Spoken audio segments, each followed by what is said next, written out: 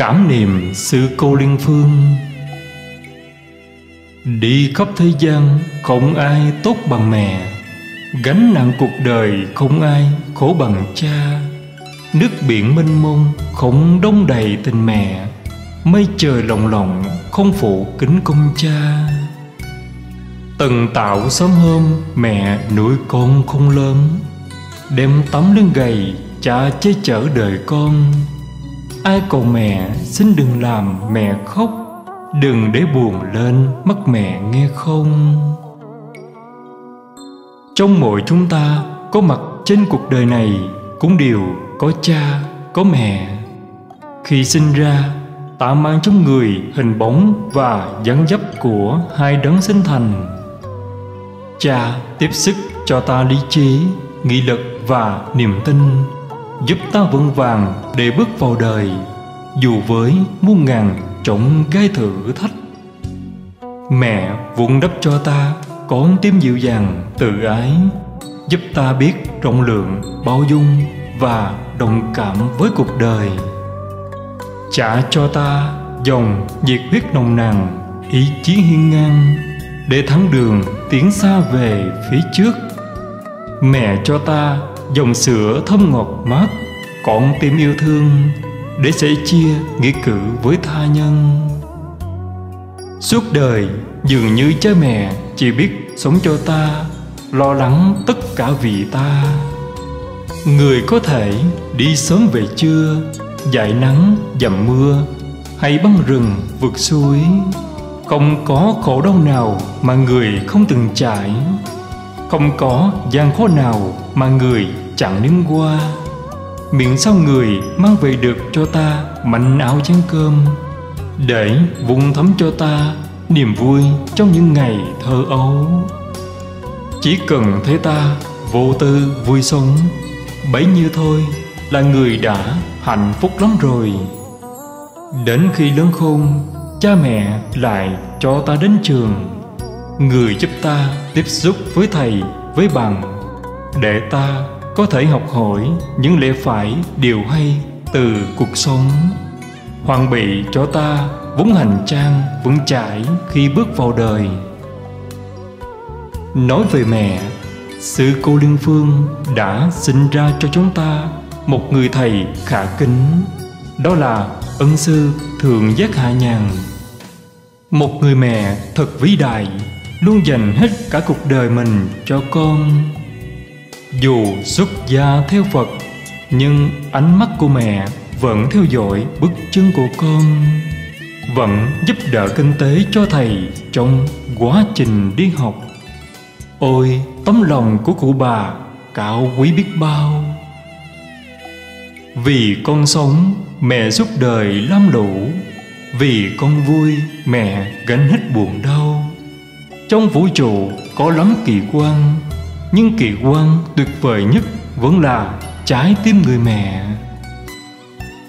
Xạ Di Ni thích nữ liên phương Thế danh Nguyễn Thị Ngày Sinh năm 1933 Quê quán Phù Cát, Bình Định Là thân mẫu của Đại Đức Thích Giác Nhàn.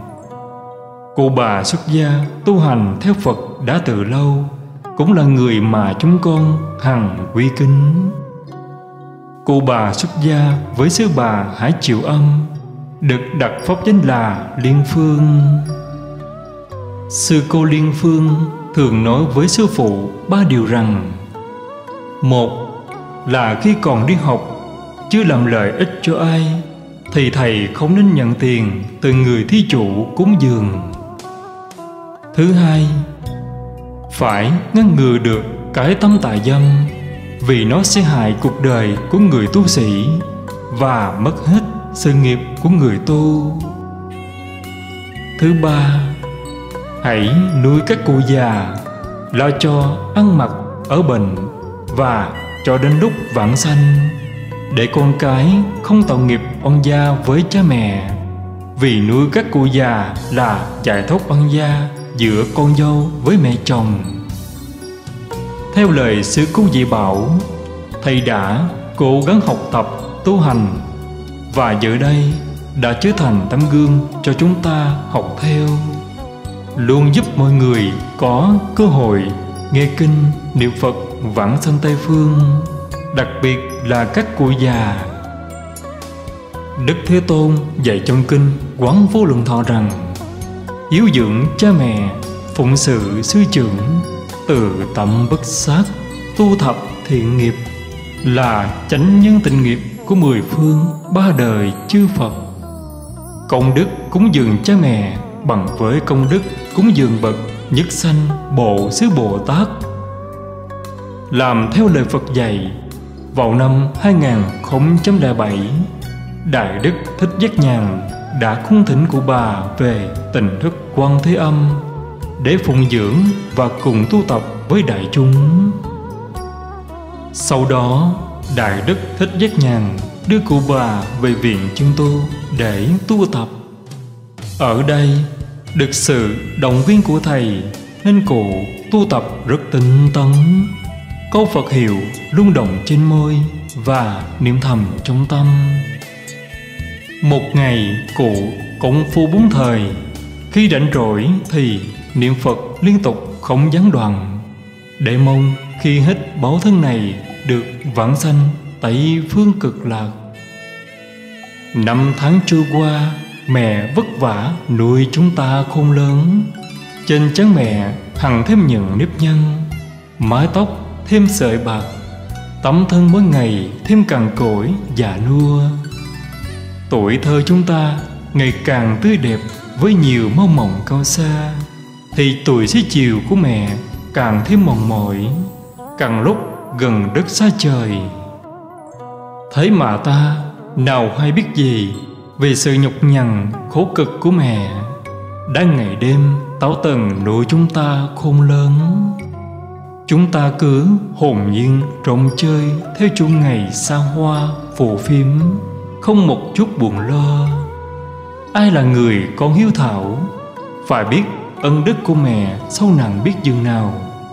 Ân đức này không bút bực nào có thể diễn tả cho hết được.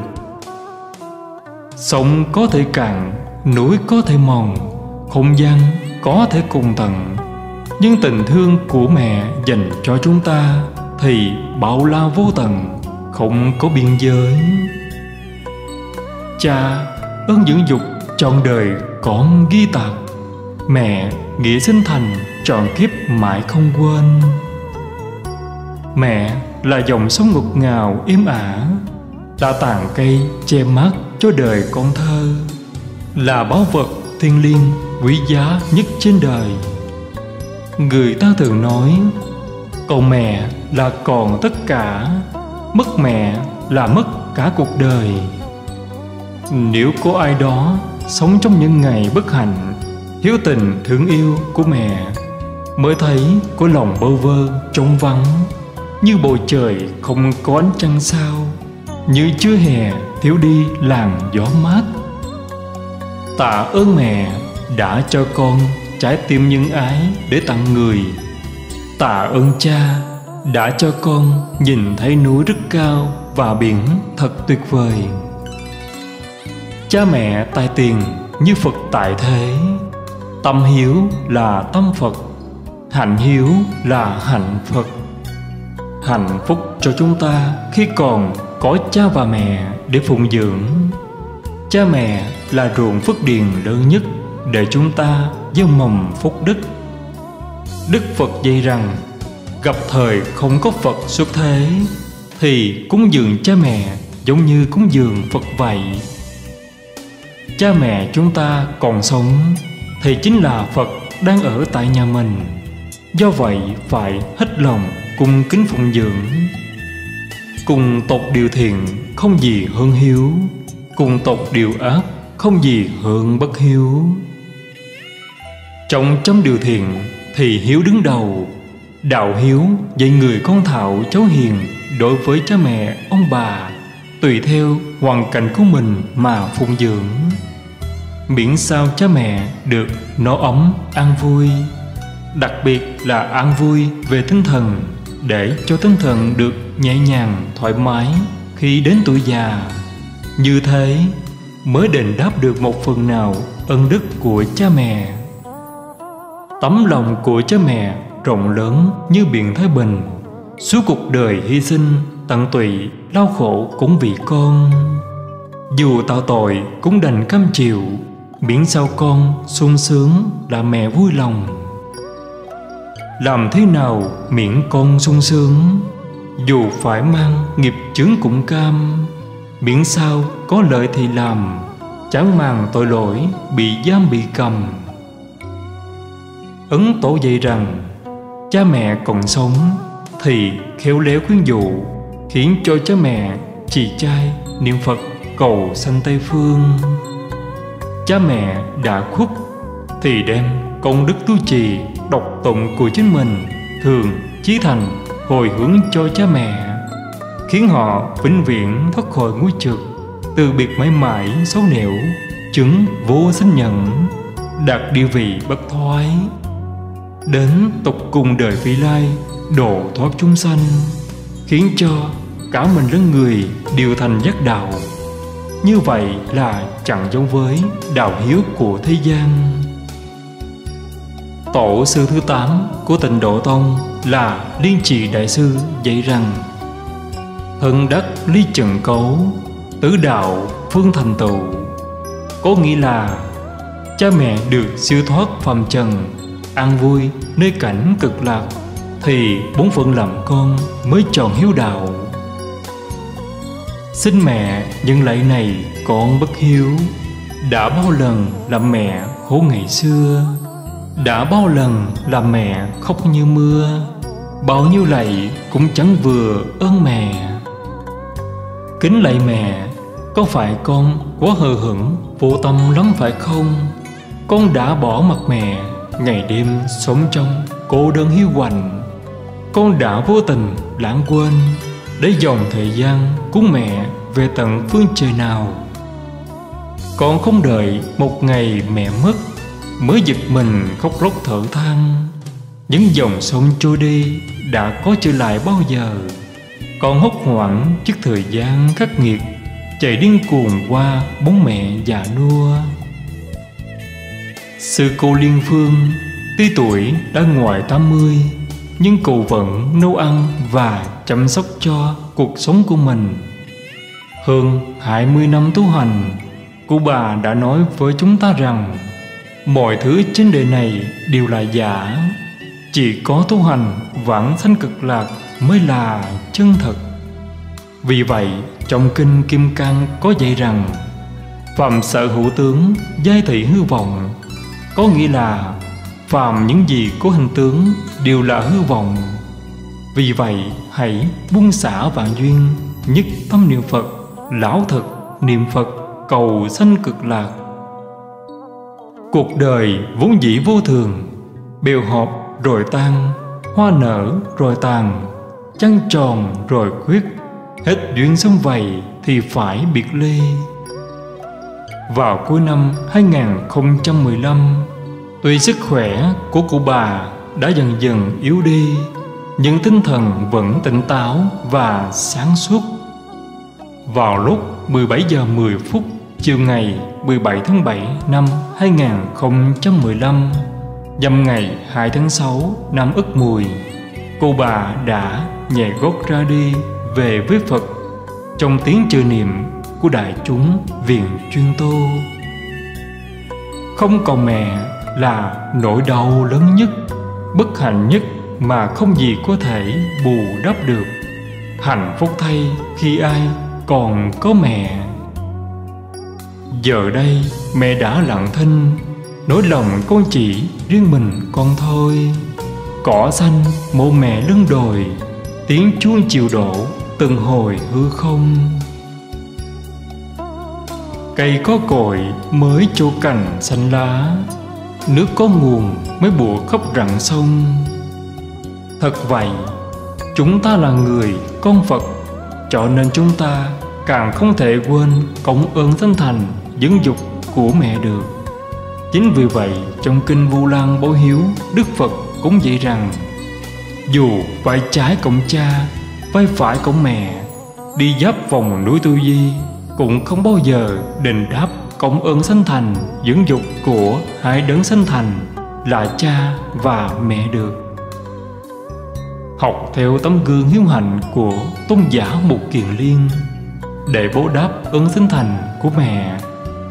Đại Đức Thích Giác Nhàn đã in kinh, phóng sanh, tổ chức, tụng kinh, niệm Phật, lạy Phật, cúng dường chay tăng, vân vân để đem công đức này hồi hướng cho cụ bà Sajini thích nữ liên phương cùng chư vị hương linh trong pháp giới được vãng sanh cực lạc.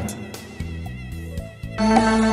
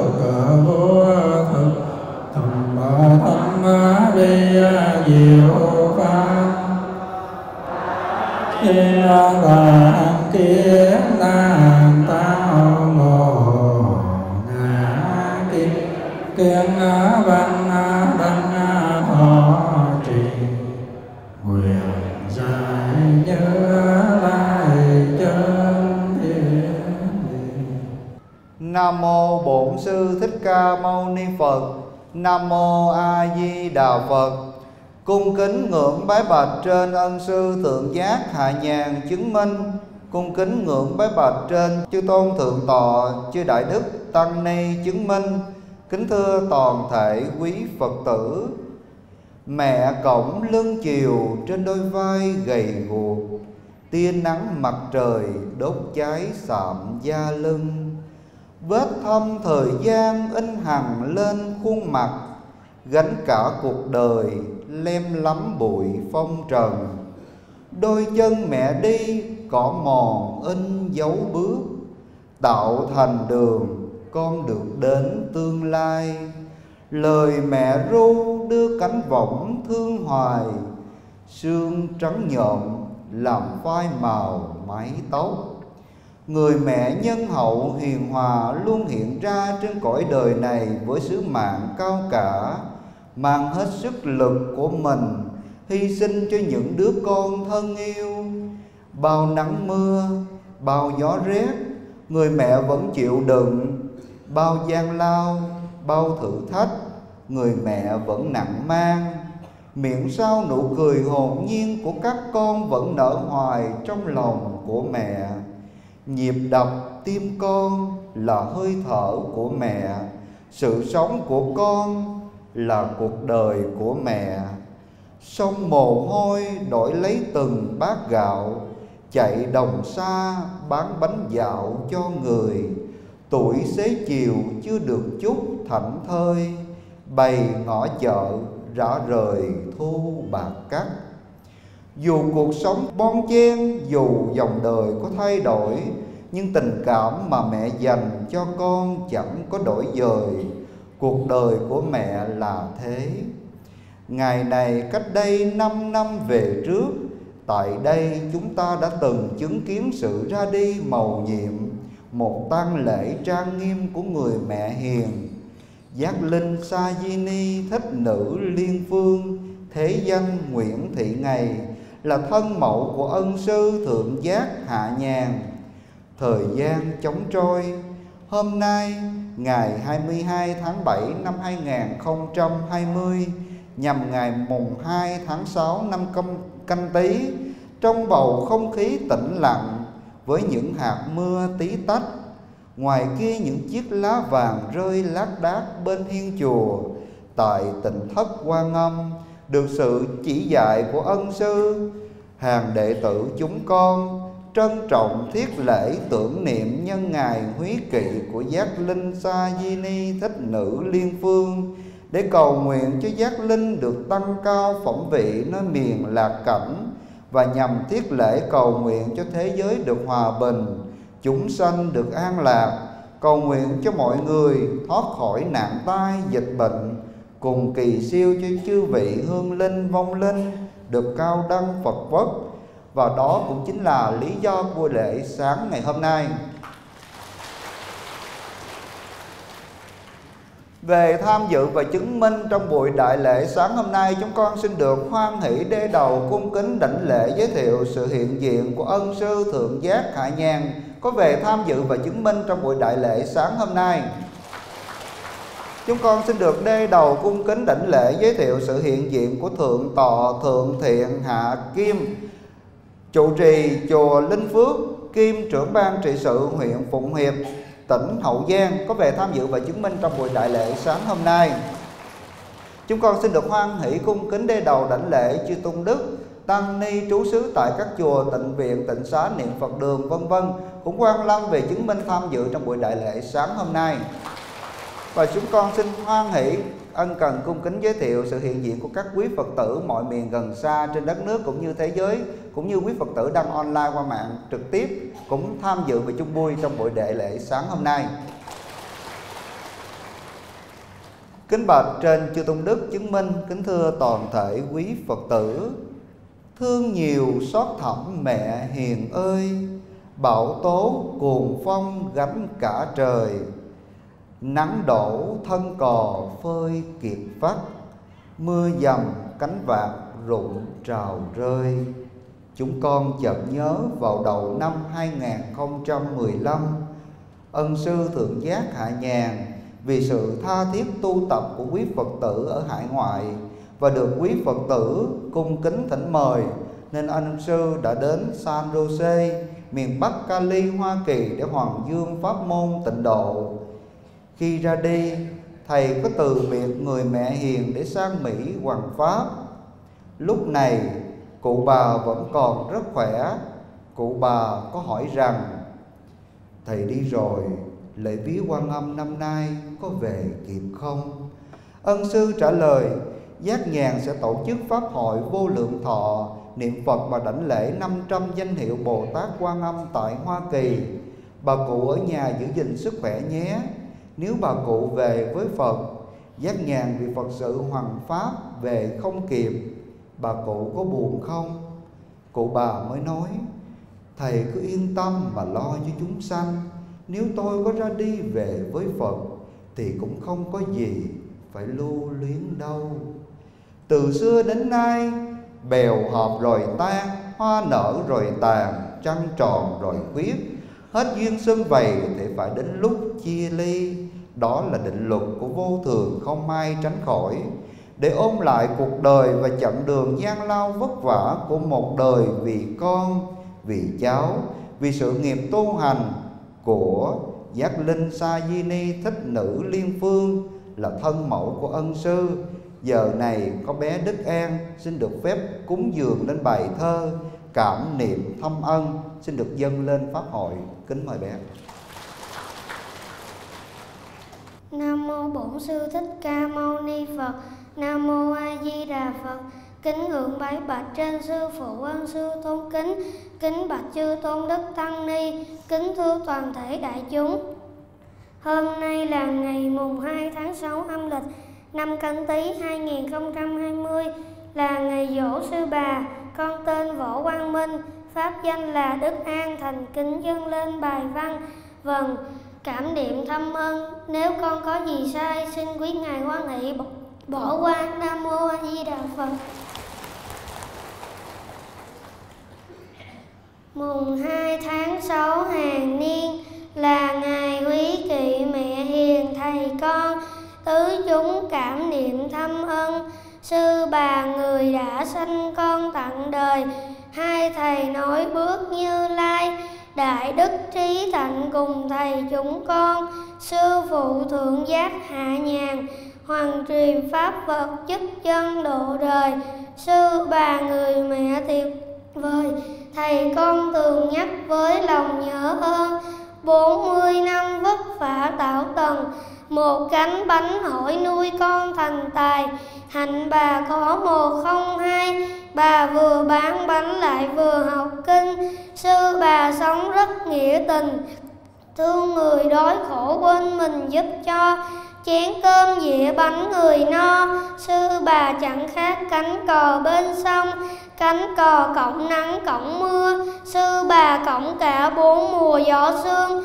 Nhớ bà ai cũng cảm thương, lưng còng quậy gánh nhưng luôn bền lòng sợ con đời khổ long đông khuyên con tu học, khuyên con giúp người. Cuối đời bà mới hạnh tới xuất gia tu học, cuộc đời đổi thay. Pháp danh bà thật là hay, tiên phương, ý nghĩa tây phương bà về. Bà về ngự phẩm liên đài, hết mang gánh nặng hai vai nhẹ nhàng. Bà nay danh lợi chẳng màng, về chuyên tu sống tự lo thân mình dẫu cho thầy chú bên mình nấu cơm rửa bát bà xưng tự làm, sư bà niệm phật thật chăm, a di đà phật thì thầm nhép luôn. Con đi hải ngoại ti buồn, sư bà cam chịu hiếu hôn thân già, để con vua dạ bôn ba.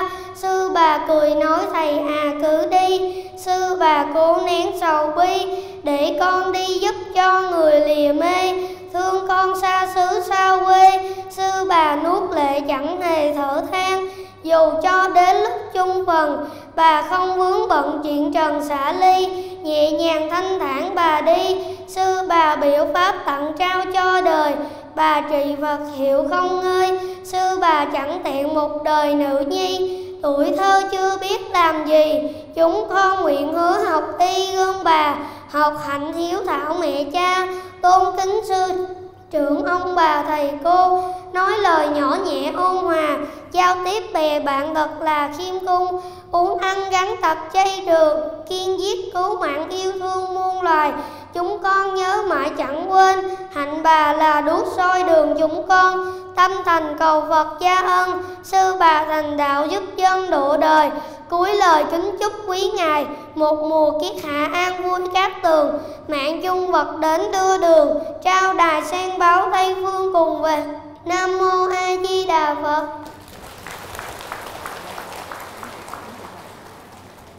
Xin quý vị cho một tràng vỗ tay nữa đi ạ. À, để tùy hỷ tuyên dương công đức của bé Đức An đọc bài thơ rất là ý nghĩa và cảm động trong ngày quý kỵ ngày hôm nay. Nam mô Bổn sư Thích Ca Mâu Ni Phật. Kính bạch chư tôn đức kính thưa toàn thể quý Phật tử. Về tham dự trong buổi lễ dỗ sáng hôm nay chúng con xin được hoan hỷ tôn vinh tuyên dương các quý Phật tử đã gửi tịnh tài tịnh vật cúng dường trai tăng cũng như lẫn hoa trái cây cùng các vật phẩm khác để cúng dường trong buổi lễ buổi lễ dỗ sáng hôm nay chúng con xin được hoan hỷ tôn vinh gia đình cô Giáng Hương ở thành phố Hồ Chí Minh, gia đình cô Hợp Bình Phước, gia đình cô Hợi Bình Phước, gia đình cô Diệu Tính, gia đình cô Huỳnh ở Hoa Kỳ, gia đình cô Hạnh ở Hoa Kỳ, gia đình cô Quảng Ngọc ở Houston, Hoa Kỳ, gia đình cô Tâm Tịnh ở Houston, Hoa Kỳ, gia đình Sơn Tuyền, gia đình cô Diệu Bình ở Dallas, Hoa Kỳ, gia đình cô Diệu Tịnh ở Hạ Hawaii, Hoa Kỳ, nhóm Phật tử ở Hàn Quốc, cô Đại và nhóm Phật tử ở Trung Quốc, đạo tràng niệm Phật đường liên trì Hải Hội ở Bình Dương, gia đình cô Diệu Bảo ở Bình Phước, gia đình cô Thanh Hà ở Gò Công, nhóm Phật tử Đồng Tháp, cô Lợi, cô Hằng và nhóm Phật tử ở Hà Nội, cô Liên Nga ở Bình Dương, cô Kim Lành ở Kiên Giang, cô Sương và nhóm Phật tử ở Đà Nẵng, tập thể lớp đệ tử Quy,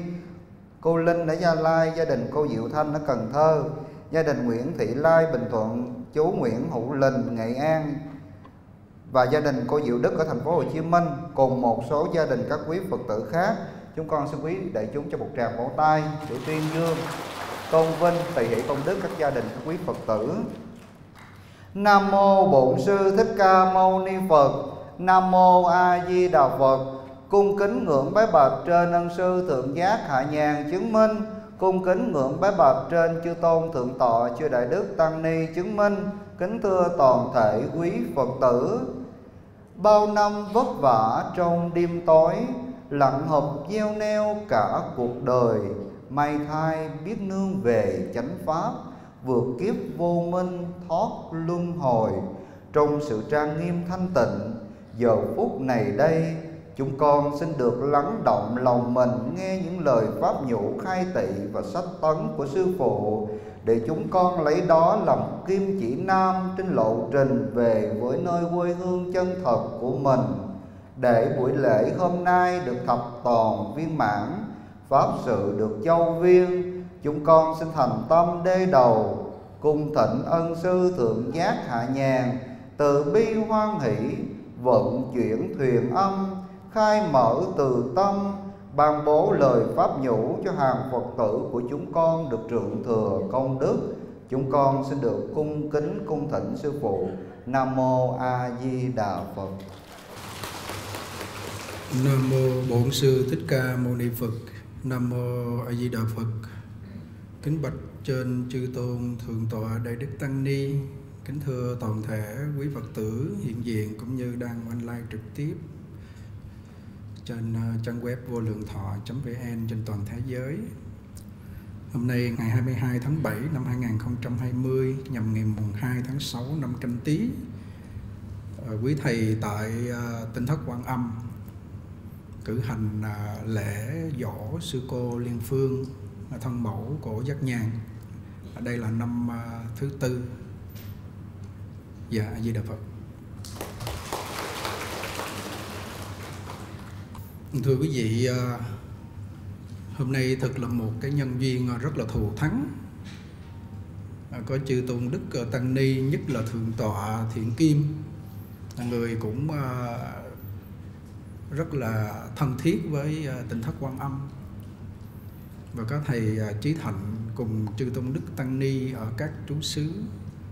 Tuy rằng trong mùa hạ để tịnh tu thúc liễm thâm tâm trau dồi giới đức, tâm đức, tuệ đức.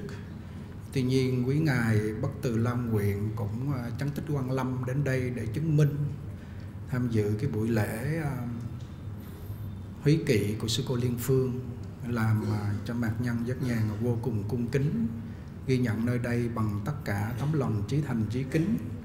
Cầu nguyện hồng ân tam bảo, gia hộ cho chư tôn đức tăng ni, pháp thể khinh an, chúng sanh dị độ, dùng à, pháp môn tịnh độ để độ chúng sanh à, trong thời mạt pháp. Dạ di đà phật. À, hôm nay quý phật tử về đông hơn những ngày chủ nhật bình thường. Đó là nghe đến cái việc chúng tôi tổ chức dỗ sư cô liên phương. Và quý vị ở các tỉnh sắp xếp về đây để tham dự cũng như những người đang online trực tiếp không về được, gửi ờ, hoa, gửi ờ, tịnh tài, tịnh vật về để cúng dường trai tăng hôm nay. Giác nhàn cũng đại diện cho chư tôn đức tăng. Nguyện đem cái công đức ờ, hôm nay để hồi hướng cho toàn thể quý phật tử hiện diện cũng như đang online trực tiếp. Thân khỏe, tâm an phát bồ đề tâm lão lão niệm phật a di đà để một đời này đồng vãng sanh tây phương cực lạc và a di đà phật. Thưa quý vị à, từ khi chúng tôi à, ở bên Mỹ về chúng tôi à, đến ngày mùng 2 tháng 6 âm lịch, đều có tổ chức ngày giỗ của sư cô. Đây là một người mẹ rất là lý tưởng đối với trái tim của chúng tôi. Vì từ khi chúng tôi bắt đầu à, đi tu đó thì à, thực sự bà là người hỗ trợ cho chúng tôi về kinh phí để à, đi học. Cho nên cụ bà là một người mà chúng tôi thực sự luôn hằng ghi nhớ. Mỗi ngày công phu từ khi bắt đầu lập, gặp văn sao ấn tổ, thì chúng tôi mỗi ngày công phu đều hồi hướng cho Nguyễn Thị Ngày, pháp danh Sa Di Liên Phương với Trần Khư, pháp danh Thiện Chánh. Đây là hai người ân nhân mà mỗi ngày chúng tôi công phu sáng tối đều hồi hướng. Đây là điều mà quý phật tử nên làm. Giàu cho cha mẹ mình còn sống hay là mất, đều phải nghĩ tưởng đến và đem cái công đức trong thật tu hành của mình hồi hướng. Thì đây là báo hiếu ở đây có ai làm không ạ? Có những người có làm mà có những người bị quên mất. Mà khi mình hàng ngày nhớ để mà mình hồi hướng như vậy thì đến những lúc dỗ thì thực sự mình đem bằng tất cả tấm lòng trân quý, cung kính. Có khả năng của mình bao nhiêu in kinh, in đĩa, phóng sanh, làm để hồi hướng và lợi ích cho chúng sanh. Ngày dỗ ngày đám cưới nên làm những điều phước thiện để hồi hướng cho người thân. Ngoài những ngày dỗ đó, hai thời công phu, đều đem công đức niệm Phật hồi hướng. Người này gọi là người chí hiếu. Người này đã đạt được cái chỗ hiếu kính, hiếu đức. Quý thầy phải áp dụng chuyện này. Quý sư cô, quý phật tử, cha mẹ còn sống, hàng ngày nghĩ tưởng đến. Dầu là mình một con người bất hiếu vô cùng ngõ nghịch, ngang trái, nhưng luôn luôn mỗi ngày hồi hướng hồi hướng lâu ngày, tâm hiếu mình bắt đầu khởi lên. Đây là một cái pháp mà để hóa giải những cái nghiệp bất hiếu của chúng sanh. Tuy rằng mình không có biết phát tâm, cúng dường, lo lắng cha mẹ, mỗi ngày đem công đức này hồi hướng, lâu ngày chạy tháng, có tác dụng, khởi tác dụng ngày dỗ ngày lễ, nhiều người sẽ đến chung vui với mình và người ta sẽ làm những điều phước thiện, hỗ trợ cho mình. Rõ ràng. Nay nghe dỗ có một cô phật tử ở sài gòn có dấu tên gửi 50 triệu lên để cúng dường. Có một cô đó, cô cũng giấu tên phát tâm 100 triệu cúng dường trai tăng. Chút nữa chư tăng, mọi người đều có phong bì đủ hết. Nếu nếu chư tăng chư ni hôm nay đến đây, chút nữa ra thọ trai mà thiếu phong bì, thầy nhuận minh phải đi lấy cho đủ mỗi vị một triệu cúng dường nhân cái ngày lễ huy kỵ, sư cô. Vì vậy cho nên thành ra cái việc mà chúng tôi nghiệm lại một chút xíu cuộc đời của chúng tôi và cuộc đời gia đình của chúng tôi. Gia đình gia đình chúng tôi là một gia đình nghèo, gia đình thiếu phước. Đời trước không biết bố thí cúng dường làm phước, đời này sanh ra quá nghèo cha lúc chưa lập gia đình thì đi ăn xin. Ông bị cái mục đau ngay cái chân, ông đi cà nhắc cà thọt, lết ra chợ ăn xin. Chúng tôi nói với quý vị, đây là cái điều ông cụ ông kể lại. Ông hỏi, mọi người có biết cái cảnh ăn xin chưa? Người ăn xin mà người không có tấm lòng tự ái thì người này là, phải là bồ tát. Người này là thừa nguyện tái lai họ là biểu pháp. Còn không là người ăn xin là người tự ái, dồn dập khổ đau về mặt tinh thần tột cùng và khổ đau về vật chất. Họ đến đường cùng. Thì đời trước không biết bố thí cúng dường. Cho nên đời này sanh ra một cuộc đời không bằng một đời. Đời trước có phước để hưởng, Tiền bạc của cải vật chất, châu báu ngọc ngà Để sát trộm dâm dối, tạo nhiều nghiệp xấu ác, Hưởng một đời hết. Đời thứ hai bắt đầu bằng cùng, Đời thứ ba bắt đầu đọa lạc, Làm loài súc sanh dị loại Quý vị tin điều nào?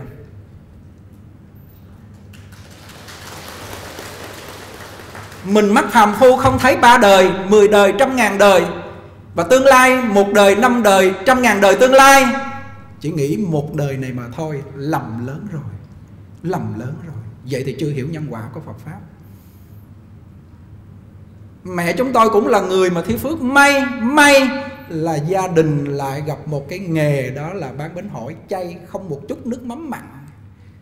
Tôm lấy sắc đậu hũ để mà làm bỏ màu vô. Nước mắm mua đường về nấu lên cục đường tán, bỏ vô nước lạnh thành nước mắm.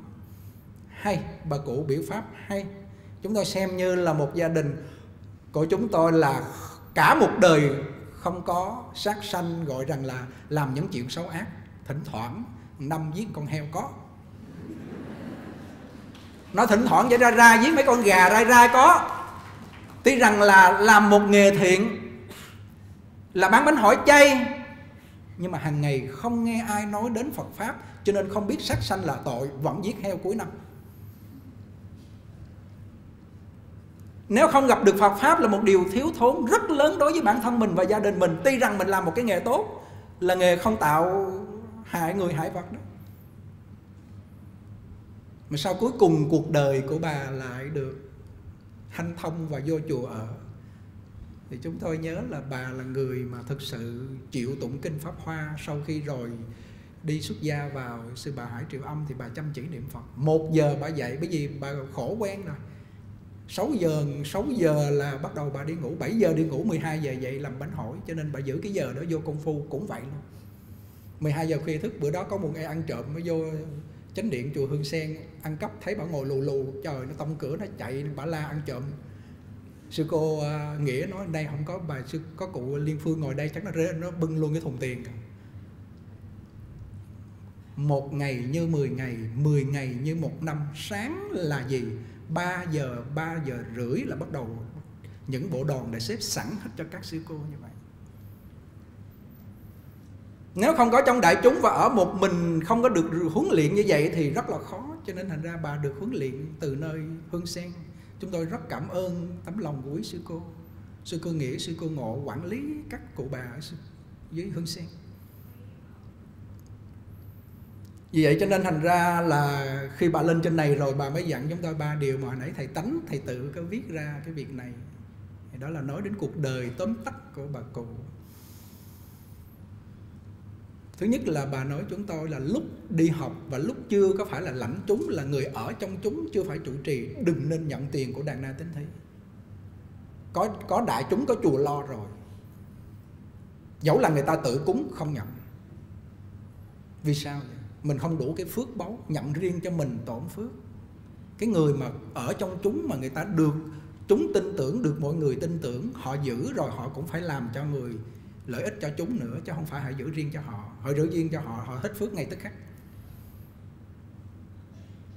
Như vậy hôm nay, thí dụ mình có trong một cái buổi lễ như đăng trăng trai tăng hôm nay với thầy với sư cô nhận để đi xe qua lại chuyện bình thường. Nhưng khởi niệm lên để mong người ta cúng dường, khởi niệm lên để mà gì?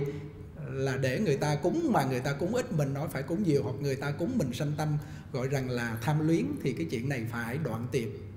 Thì con đường người tu sĩ không có chướng ngại, không có gặp gờn.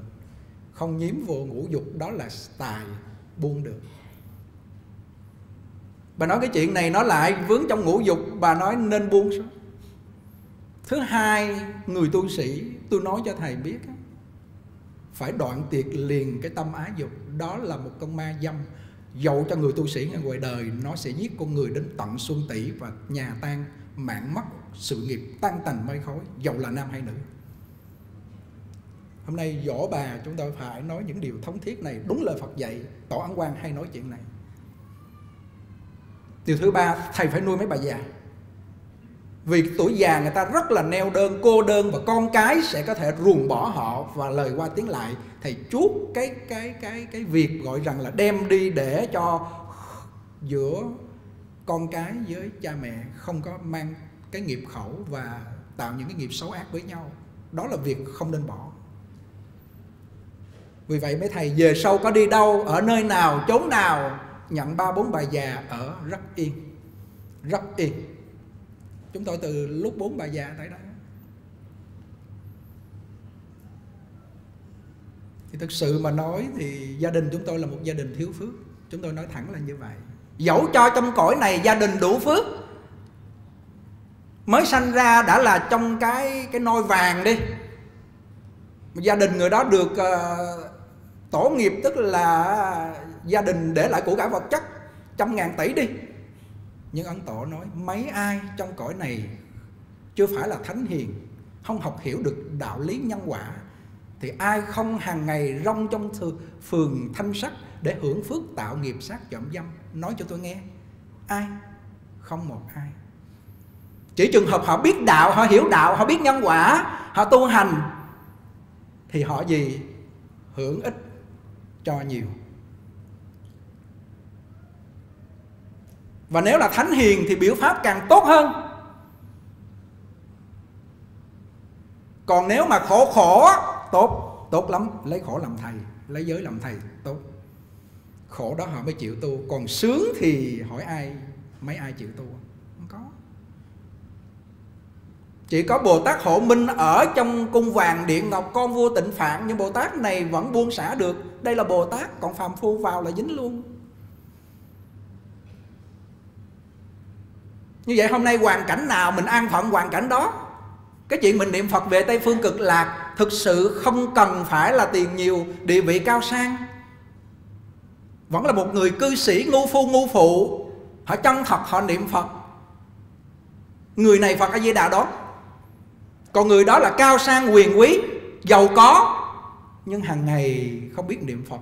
Toàn là tạo ra là ác nghiệp, Sát trộm dâm dối.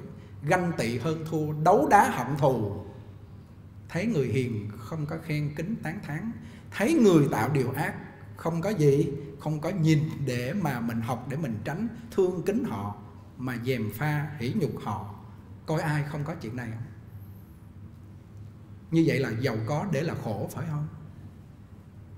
Nếu mà họ biết tu hành, nếu họ giàu có, họ đem tiền của này, họ đổi thành ngân phiếu ngân phiếu này là tịnh nghiệp gửi về tây phương cực lạc họ làm phước họ cúng dường.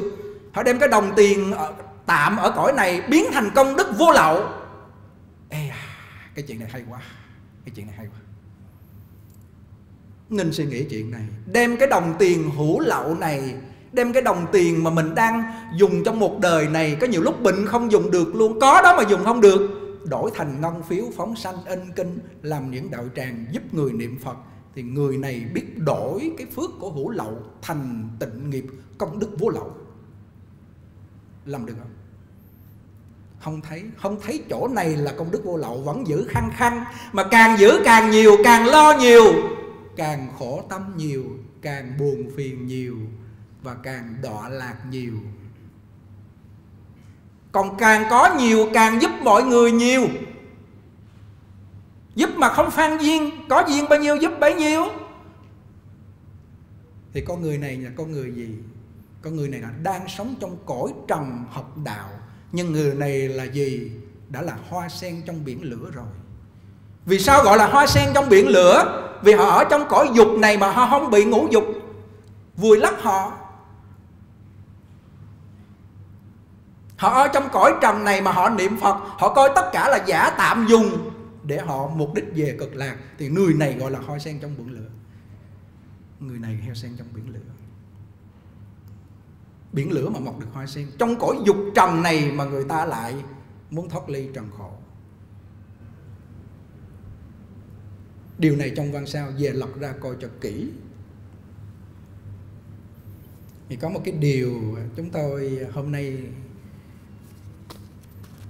nói đến bà cụ, bà dùng cái cách dụng công mà hôm nay chúng tôi nhìn kỹ vào thì thấy trong văn sao nói mà bà dùng cho nên thành ra bà khỏe, bà sống thọ.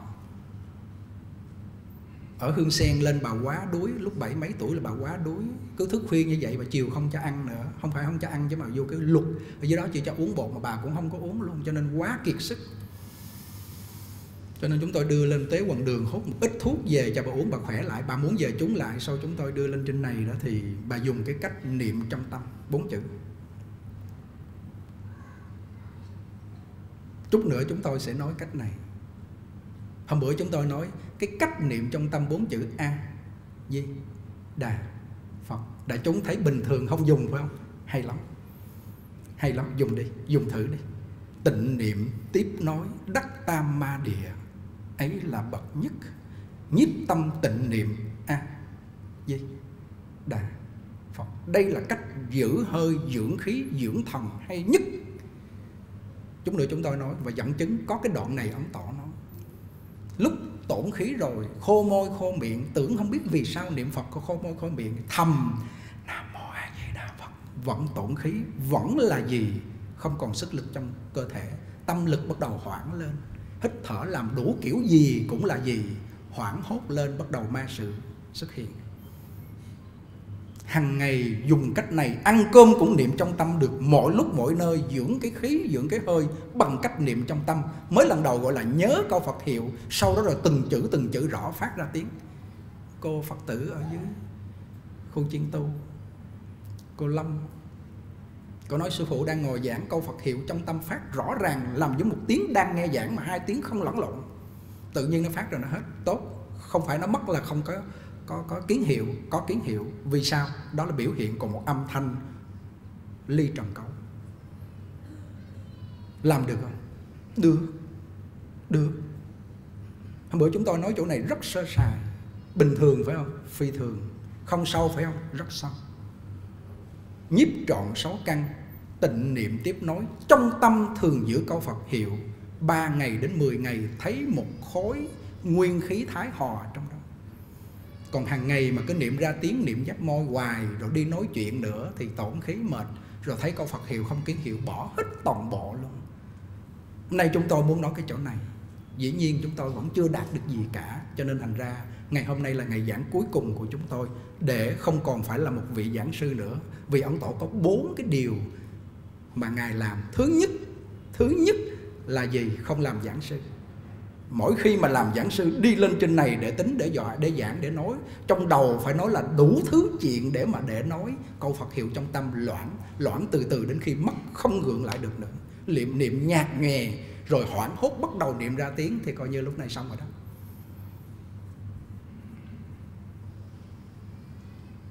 Chỗ này là cái chỗ yếu quyết. Đại chúng hết sức là thọ lãnh thứ hai tổ sở quan không trụ trì vì nhiều người quyên góp tiền bạc làm cho tính tâm Phật tử mất, cho nên thành ra ngài không bắt trước những vị đó. Còn những vị mà quyên góp hay xây ngài không bao giờ chỉ trích. Đó là các vị Bồ Tát họ đi làm. Bản thân ngài không trụ trì, không xây chùa thứ hai, không nhận đồ chúng vì có nhiều người nhận vô rồi để cho họ đi lang thang bên ngoài, họ đi làm những chuyện sằng bậy, họ làm những chuyện không đúng, họ không có hàm dưỡng tu hành, ngài cũng không làm chuyện này.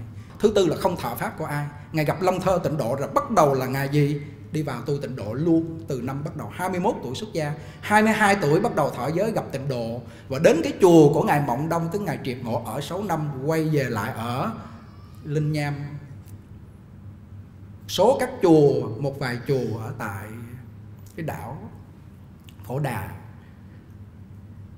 bế quan hàm dưỡng, ẩn kính tài năng, đem những cái tâm vọng động vứt ra ngoài Đông Dương Đại Hải 35 năm như một ngày không ai biết đến tiếng, hai chữ ấn quan chỗ này phải làm.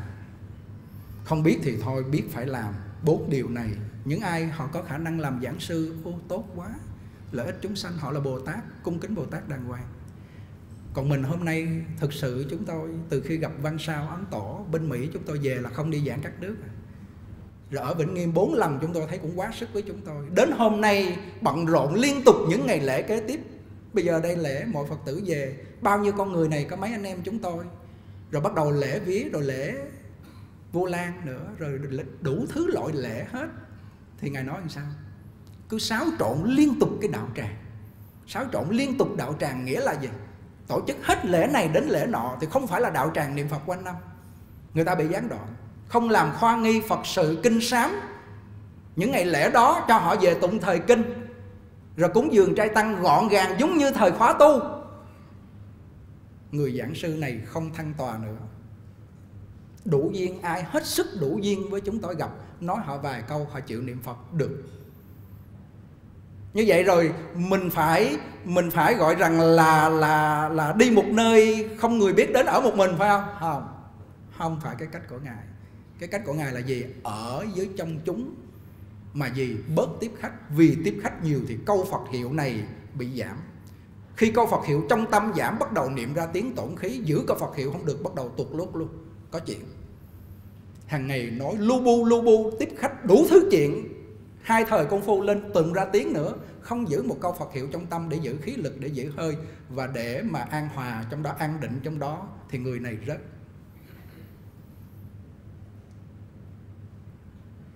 chỗ này hôm nay là quan trọng. Ngài có khai thị về cái tổ nghiệp và tổ đức. Chúng ta nói một chút xíu chỗ này. Tổ nghiệp là sao? Tổ tiên của họ để lại một cái sự nghiệp. Bác sĩ, kỹ sư làm một cái nghiệp gì đó, tổ tiên họ để lại một cái tổ nghiệp. Mà sở dĩ cái tổ nghiệp của tổ tiên họ thành tựu được là nhiều đời nhiều đời đã có tích lũy tổ đức. Đức của gia nghiệp người đó có tích lũy, tổ đức họ có tích lũy. Lắng nghe cho kỹ chỗ này. Khi mà tổ đức họ tích lũy đủ được tốt, thì cái tổ nghiệp tức là sự nghiệp của con người đó hành thông ngay. Thời xưa người ta tích lũy cái cái công danh của tổ nghiệp bằng cách là họ tích lũy tổ đức trước. Còn thời bây giờ khác hẳn với thời xưa. Khác hẳn thời xưa là bây giờ họ lo cho con cái, họ học trường này trường nọ, làm sao nó thiệt phải là giỏi? Nó phải có tài hơn người. Thì người này đã tích lũy cái sự nghiệp cho gia đình họ, mất gốc vì không cho con cái họ biết hiếu đệ trung tính lễ nghĩa liêm sĩ. Không có cho họ biết năm giới sát sanh trộm cắp, tà dâm nói láo, uống rượu. Không biết mười thiện thì tổ nghiệp đã bị khuyết rồi. Mà tổ đức họ bị khuyết rồi thì tổ nghiệp họ cũng bị trở ngại luôn. Nhưng mà con người nếu mà tích lũy tổ đức khuyết họ coi là chuyện bình thường, không có gì quan tâm. Hiếu đệ trung tính lễ nghĩa liêm sĩ, làm cũng được không có, thôi không sao. Năm giới giữ không được không giữ được, không sao mà sự nghiệp ở ngoài là quan trọng, học hành để mà thành tựu, có tiền về kiếm cơm áo gạo tiền là quan trọng. Từ ngày này, tích lũy mất gốc. Chúng tôi cho sư cô liên phương là người mà tích lũy tổ đức tốt cả một đời. Đó là hành cái nghề bán bánh hỏi chay. Vì vậy cho nên hôm nay chúng tôi khuyên mọi người, nếu tích lũy tổ nghiệp là tích lũy cho con cái có sự nghiệp, học hành đỗ đạt, có công danh tiền bạc thì phải nên tích lũy tổ đức giống như ấn tổ khen ông phạm trọng im phạm trọng im là một người gia đình không có đức, tổ nghiệp cũng thất bại, tổ đức cũng trở ngại. Người cha mất, người mẹ bắt đầu tái giá, thêm một người chồng khác. Ông phải ra đi lang thang, không nhà, không cha, không mẹ, không tiền trú ẩn tạm trong một ngôi chùa bắt đầu tích lũy những cái điều của cổ thánh tiên hiền. Ông học từ từ từ từ 6 năm đèn sách ông thi bắt đầu đổi trạng quan từ nơi cái gì, ông tích lũy tổ đức bằng cách học theo các vị cổ thánh tiên hiền. Ông tổ khen ông phạm trọng im. Ông này một con người tích lũy tổ đức trước, cho nên thành ra tổ nghiệp của ổng về sau rất vững bản thân cư sĩ, tu sĩ chúng tôi cũng như vậy. Nếu mà hàng ngày không lo công phu, tích lũy công đức niệm phật, ăn chay phóng sanh tu hành, không làm phước đức cho người khác, xây cái chùa to đùng lên, nghe cái đùng, cái người đó coi như tan tành mây khói. Một là chết sớm, hai ra đời, ba có chuyện trở ngại. Vì họ lo tích lũy cái tổ nghiệp là xây dựng bên ngoài. Dĩ nhiên tích, xây chùa là tích đức, là tích phước cho người đến đến tu. Mà lợi người hại mình mình không có công phu, coi như trắng tay, hai bàn tay trắng. Lợi người phải lợi mình. Nếu mà lợi mình mà danh lợi, tài sắc danh thực thì thì nên bỏ nó đi. Mà lợi mình là công phu tu hành, tích lũy công đức, phải lợi mình. Có người hỏi ăn tổ, vậy con đi làm phước cũng làm lợi người ta như vậy có được không? Ngài nói, ông trước phải làm lợi ông, có công phu hàm dưỡng. Đem những cái tâm bợp chợp, cống cao ngã mạng khoe khoang khoác lác, vứt ra ngoài đông dương đại hải, hàm dưỡng, trở thành pháp khí đi. Tùy duyên ông làm lợi, có lợi ích giờ mấy thầy không có tiền bạc không làm lợi ích chúng sanh không? Tu tốt.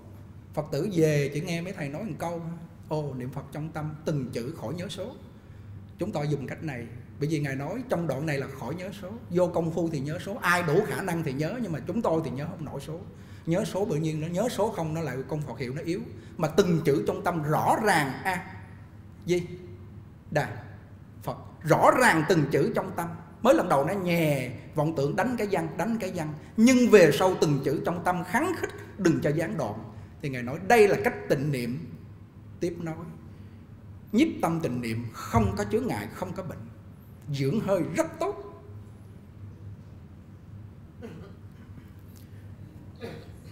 Nói đến hôm nay cái chuyện ờ, hiếu hiếu thuận đó. Thực sự chúng tôi hôm nay nhận, chúng tôi là một người bất hiếu vì sao nói như vậy? Đưa cha mẹ đi tu mà sao gọi là bất hiếu? Nhưng mà bất hiếu đó, khi bà mất, chúng tôi lại vì một cái giấy tờ gì cái thẻ xanh gì pháp hội ở phương xa San Jose mà bỏ mặt đó giao cho quý thầy. Dĩ nhiên cái đám rất tuyệt, rất đông mọi người hưởng ứng. Quý thầy lo chu đáo các thầy chí thành lo. Nhưng mà chúng tôi về không được thì giờ nhìn vào trong văn sao, đây là thiếu bổn phận, đây là người bất hiếu. Cái tội này lớn chúng tôi mong quý vị, cha mẹ còn đừng có làm như chúng tôi. Cha mẹ mất thì phải về để lo tang lễ đàng hoàng. Cha mẹ đã mất rồi thì phải nên hàng ngày công phu hồi hướng. Đừng có làm như người bất hiếu như chúng tôi. Còn là phàm phu, không ai trọn vẹn đâu. Hôm nay hổ thẹn đến cùng cực. Lỡ lỡ mà ban đêm mà bà ở cảnh giới nào hoặc bà mà mà mà mà coi như là à, về cực lạc. Lý ví dụ vậy mà mình nhìn mặt bà thì thiệt sự không còn mặt mũi nào mà nhìn. Hổ thẹn đến cùng cực muốn chết được. Mong mọi người còn cha mẹ nên viết thư ấn tổ viết bằng tay nắng nót xấu đẹp gì đó gửi về cho cha mẹ gửi cho anh em bạn bè. Lá thư này có tác dụng rất lớn. Cất đó đi công phu chướng ngại lấy ra. Hôm nay chúng tôi không nói nhiều bởi vì à, trong văn sao đủ rồi. Mỗi buổi sáng, phóng sanh. Có những lúc chúng tôi chia sẻ ít và không chia sẻ, thầy hậu làm lễ. Thầy tánh đọc và bắt đầu ngày mai thì sẽ soạn ra một trang nói về pháp môn tịnh độ. Còn lại một trang nói về phóng sanh là phóng sanh là trợ hạnh đắc lực cho sự vãng sanh. Và sát nghiệp là giết hại và ăn thịt là trở ngại rất lớn đối với tịnh nghiệp. Như vậy người ăn chay, người phóng sanh là người tạo gì? Tạo tịnh nghiệp. Lòng từ không giết, đó là nghiệp tịnh nghiệp của thứ ba. Phải làm chuyện này. Chúng tôi hơi giật mình, hơi muốn thối lui, nhưng mà cuối cùng không ngại. Một ngày 10 triệu, một tháng 300 cứ làm. Vậy mà cô có mà làm. Chuyện này chúng tôi thấy công đức phóng sanh kỳ đặc nói như vậy không phải khoe khoang, mà nói như vậy để toàn bộ mọi người đúng ngày phóng sanh, giờ phóng sanh đó gặp chúng tôi. Còn riêng bản thân chúng tôi ở chung với đại chúng.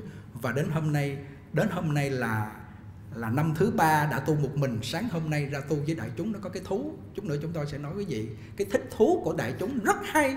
Sáng nay với thầy tuệ, chú bảo, chú nhật minh được chú thắng, anh em tu chung với nhau, nó có cái hay. Chúng ta thấy nếm được cái mùi vị hay vượt cực kỳ tu với đại chúng, tu một mình nhiều lúc cái hơi mình không đủ, lâu ngày nó xuống khí lực hồi nào không ngay học giải đãi không có ai mà kéo lại cho mình, cho nên nãy thầy khiêm thầy nói, bây giờ ra khỏi chúng rồi mới thấy cái giá trị của đại chúng. Tuyệt. Mỗi người có mỗi cái hay của họ, có cái tài của họ. Thầy tánh, ông tổn khí đến tính cùng cực rồi, bắt đầu ông tìm ra cách lại ba ba, bốn. Chúng tôi phối hợp thêm là thầy niệm bốn chữ. Chúng tôi đẩy vô sáu chữ và có khoảng cách để cho quý vị làm sao. Lại làm sao, đừng cho tổn khí hôm nay có mấy trợ rồi. Bây giờ chúng tôi mới thấy ông hồ tiểu lâm ổn niệm trong tâm. Lạy a di đà phật từng chữ trong tâm. Mình nam mô di đà phật từng chữ trong tâm. Nghe cái máy dưỡng hơi để lễ, suốt trong một buổi lễ không mệt.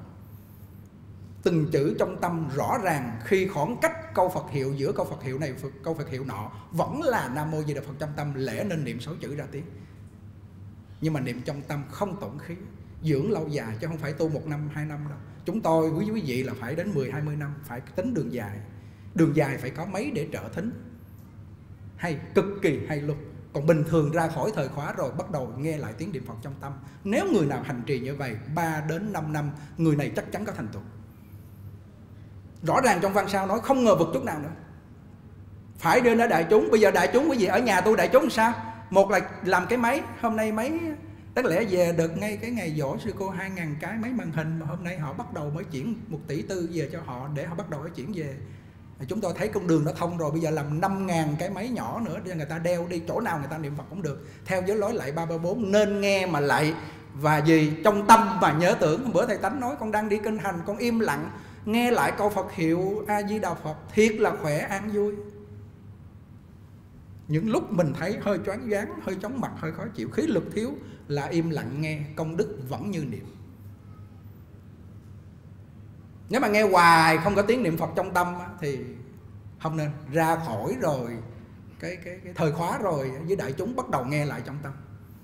Từng chữ cho rõ, cho sâu. Nhiều lúc tập trung nghe quá rồi bắt đầu mình thấy hơi khô miệng và thấy nó hơi không ổn cái tâm lý khí lực chưa đủ thả câu Phật hiệu, hiệu hít vài hơi thôi vài hơi vừa đủ rất là sảng khoái thoải mái.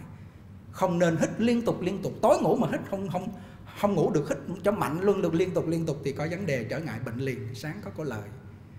Hầu như là mất ngủ cô hít liên tục khi lực hít xong bắt đầu cô cô giật hít mạnh quá giật giật giật giật giật bị bệnh hít thở nặng quá giật giật giật chúng tôi nói ây da bà này bị bệnh hít thở rồi người ta kêu hít những cái lúc mà mười niệm hoặc là thỉnh thoảng nó thiếu khí lực, chứ mà hít riết, chúng tôi kêu bây giờ không hít nữa, đỡ ngồi dậy. Không nhớ hơi thở nữa, nhớ từng tử trong tâm thôi, nhớ có 5 phút bình thường thôi không chết. Mấy thầy kêu mang phòng hộ niệm mang hộ niệm là chết liền không hít nhiều quá và cái gông nó gần không đủ khí lực cái gì. Là bệnh hít thở. Đừng có dại dùng hơi thở, quá đi là tổn thương thành bệnh, dùng đúng lúc thôi cái chỗ này quan trọng. Một hơi thở nhẹ niệm câu Phật hiệu được tốt. Còn không thì lúc mình thả nó bình thường để mình bám theo câu Phật hiệu. Quý vị để ý, bốn chữ trong tâm không còn hít sâu, vẫn là giữ hơi. Ấn tổ nói, vẫn giữ hơi bằng cách niệm Phật thầm trong tâm. Quý vị về coi xong nước nước nó qua cho coi. Nó qua liền. Nhưng mà đến khi mình tổn khí đến tột cùng mà gọi như là giống như con cá mà nó không còn một chút nước gì nó nằm trên bờ, nó dậy đặt đặt đặt chuẩn bị nó chết thì lúc đó mới thấy cái khí lực nó quan trọng coi vô cái chỗ là niệm Phật trong tâm để giữ hơi. Hồi nãy cứu bà được, hồi nãy cứu bà lợi được. Chúng thôi mang phòng hộ niệm, bà giật dài cái nữa bà chết rồi.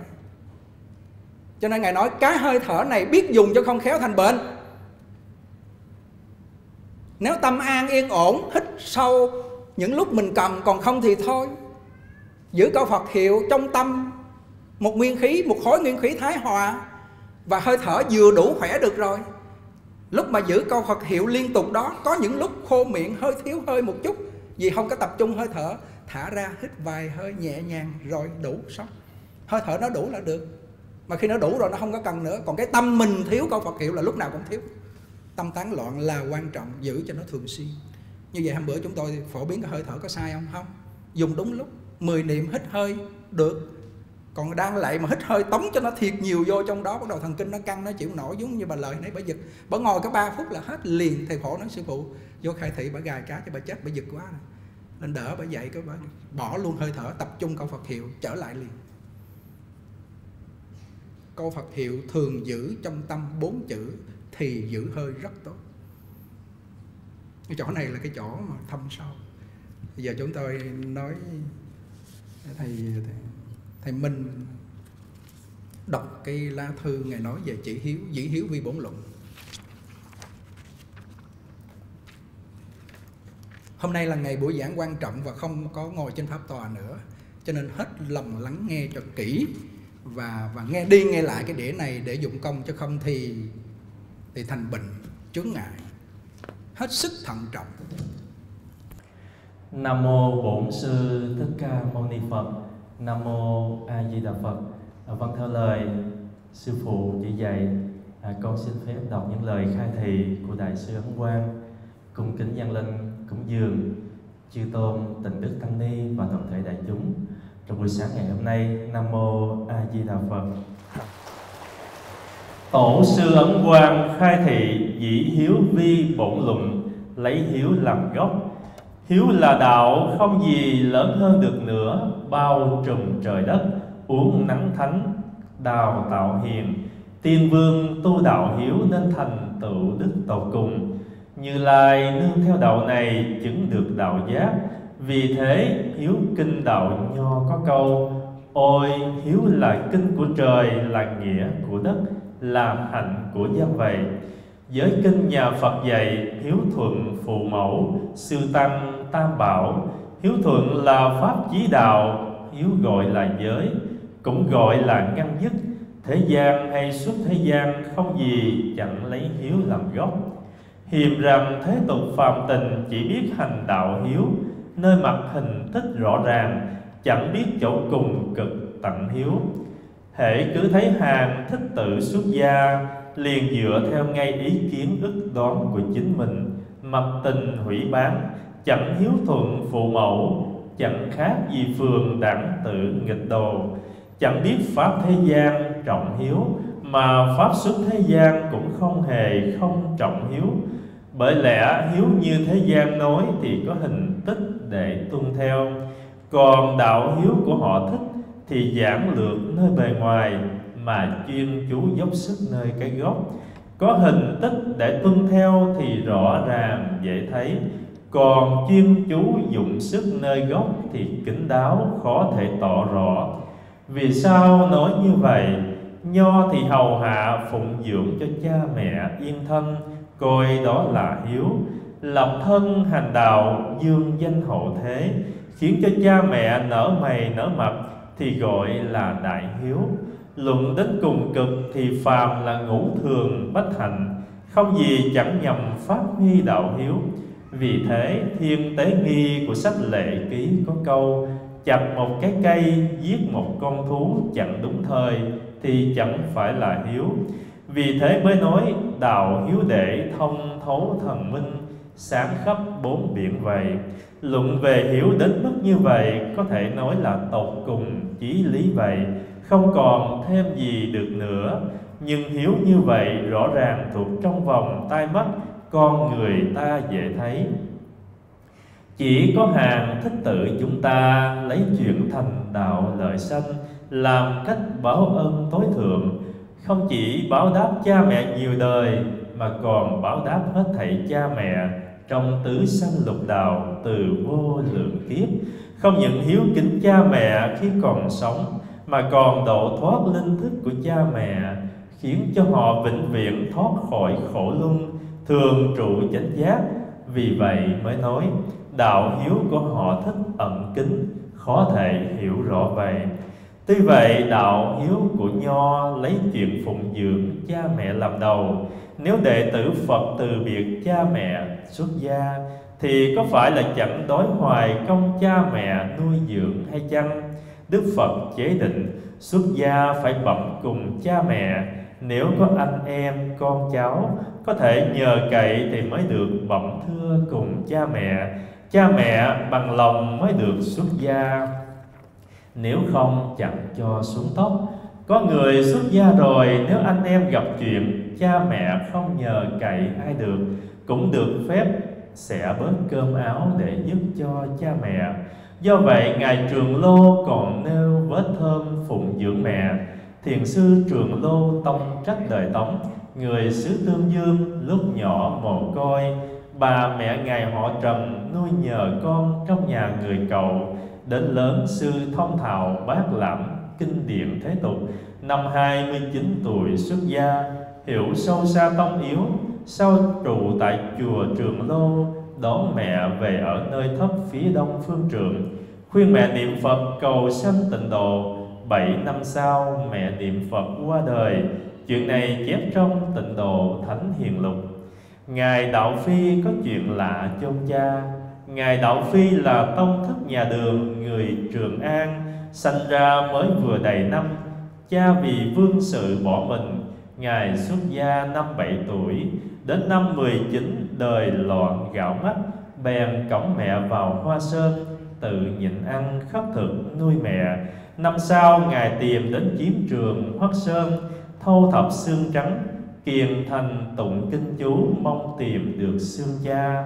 Vài ngày sau, xương cha từ giữa đóng xương trồi lên, tiến thẳng đến trước mặt ngài đạo phi. Ngài bèn chôn vùi những bộ xương khác, mang xương cha đem về chôn cất. Chuyện này được chép trong tống cao tăng truyện. Vì thế kinh nói, công đức cúng dường cha mẹ bằng với công đức cúng dường bậc nhất sanh bộ xứ bồ tát. Cha mẹ còn sống thì khéo léo khuyên dụ khiến cho cha mẹ trì trai niệm phật cầu sanh tây phương. Cha mẹ đã khuất thì đem công đức tu trì đọc tụng của chính mình.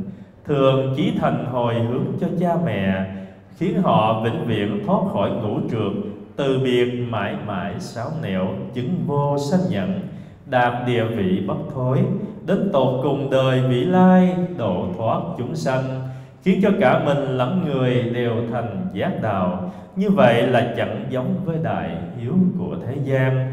Luận đến cùng cực, toàn bộ lục độ vạn hạnh, không gì chẳng nhằm mở rộng đạo hiếu. Do vậy, trong phạm vọng giới kinh, nhất nhất đều dạy nên sanh tâm từ bi, tâm hiếu thuận lại nói nếu là đệ tử phật, hãy nên dùng tâm từ bi thực hiện chuyện phóng sanh. Vì hết thảy người nam đều là cha ta, hết thảy nữ nhân đều là mẹ ta. Đời đời không lúc nào ta chẳng được họ sanh ra. Do vậy lục đạo chúng sanh đều là cha mẹ ta. Giết chúng sanh ăn thịt chính là giết cha mẹ của mình. Do vậy, hết thảy những gì mình tu trì đều đem hồi hướng cho khắp pháp giới chúng sanh. Chính là nghĩ đến tột cùng đời vị lai, Hiếu với trọn khắp các hữu tình. Nếu đem đạo hiếu thế gian ra so sánh, Thì về mặt hình tích cũng chẳng thiếu khuyết, Mà về mặt gốc lại càng dư thừa. Tiếc cho những kẻ không thấy được lý này. Nếu không bảo là nói dối hoang đường thì cũng cho làm mờ mịt. Nào biết theo chiều dọc thì suốt ba đời, Theo chiều ngang thì trọn khắp mười phương. Phật nhãn thấy trọn vẹn như nhìn vào lòng bàn tay vậy Nam Mô A Di Đà Phật.